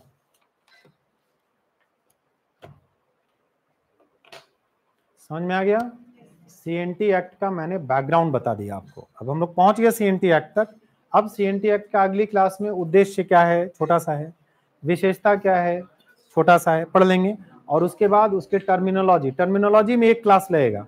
अगली क्लास में इसका उद्देश्य, इसका जो कैरेक्टरिस्टिक्स और इसकी टर्मिनोलॉजी पे हम लोग बातचीत करेंगे। कि टर्म्स को समझने में थोड़ा सा टाइम लगेगा। मैं एग्ज़ाम्पल वगैरह से समझाने की कोशिश बहुत सारे ऐसे टर्म्स हैं। और अगर समय मिल गया तो फिर सेक्शन की तरफ़ चल चलेंगे। 1885 अब किसी का कोई सवाल है, कोई डाउट है, कोई बात है तो बताइए। बात नहीं हेलो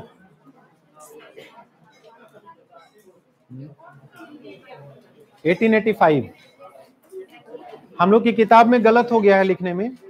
1879 या समथिंग कुछ लिखा गया है गलती से। 1885 है, बंगाल काश्तकारी अधिनियम। अब आप में से किसी को कोई सवाल पूछना है, कोई बात है तो पूछ लीजिए। सरकारी होता है ना, गजट हमेशा सरकार का होता है। सरकार के जितने नोटिफिकेशन हैं वो गजट गजट में जब तक प्रकाशित नहीं होगा, तब तक वो एक तरीके से इम्प्लीमेंट नहीं हो सकता है उसको लीगल मान्यता नहीं मिलती।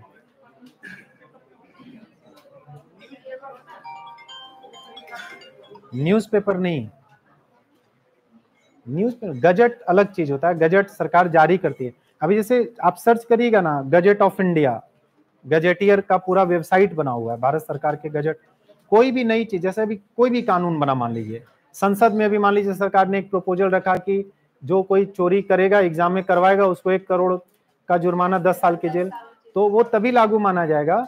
जैसे राष्ट्रपति जैसे ही हस्ताक्षर करेंगे, वैसे गजट में प्रकाशित होगा, तभी उसको लागू मानेंगे गजट में नहीं प्रकाशित हुआ मतलब लागू नहीं हो सकता है वो। तो गजट में लाना पड़ेगा। ये एक सामान्य प्रोसेस है। हाँ बोलिए इधर क्या बोल रहे थे? इसका कोई प्रो, इसका कोई प्रोविज़न इंपॉर्टेंट नहीं बस आपको ध्यान रखना है कि ये कम्पिटिशन एक्ट लाया गया 1897 में। कुछ होगा उसमें तो हम बता देंगे आगे जाके कनेक्ट कर देंगे। कोई दिक्कत नहीं है ना? चलिए थैंक यू अगली क्लास में हम लोग मिलते हैं। ऑनलाइन में जितने लोग जुड़े आप सभी लोगों का भी बहुत बहुत धन्यवाद। अगली क्लास में हम लोग बात करते हैं।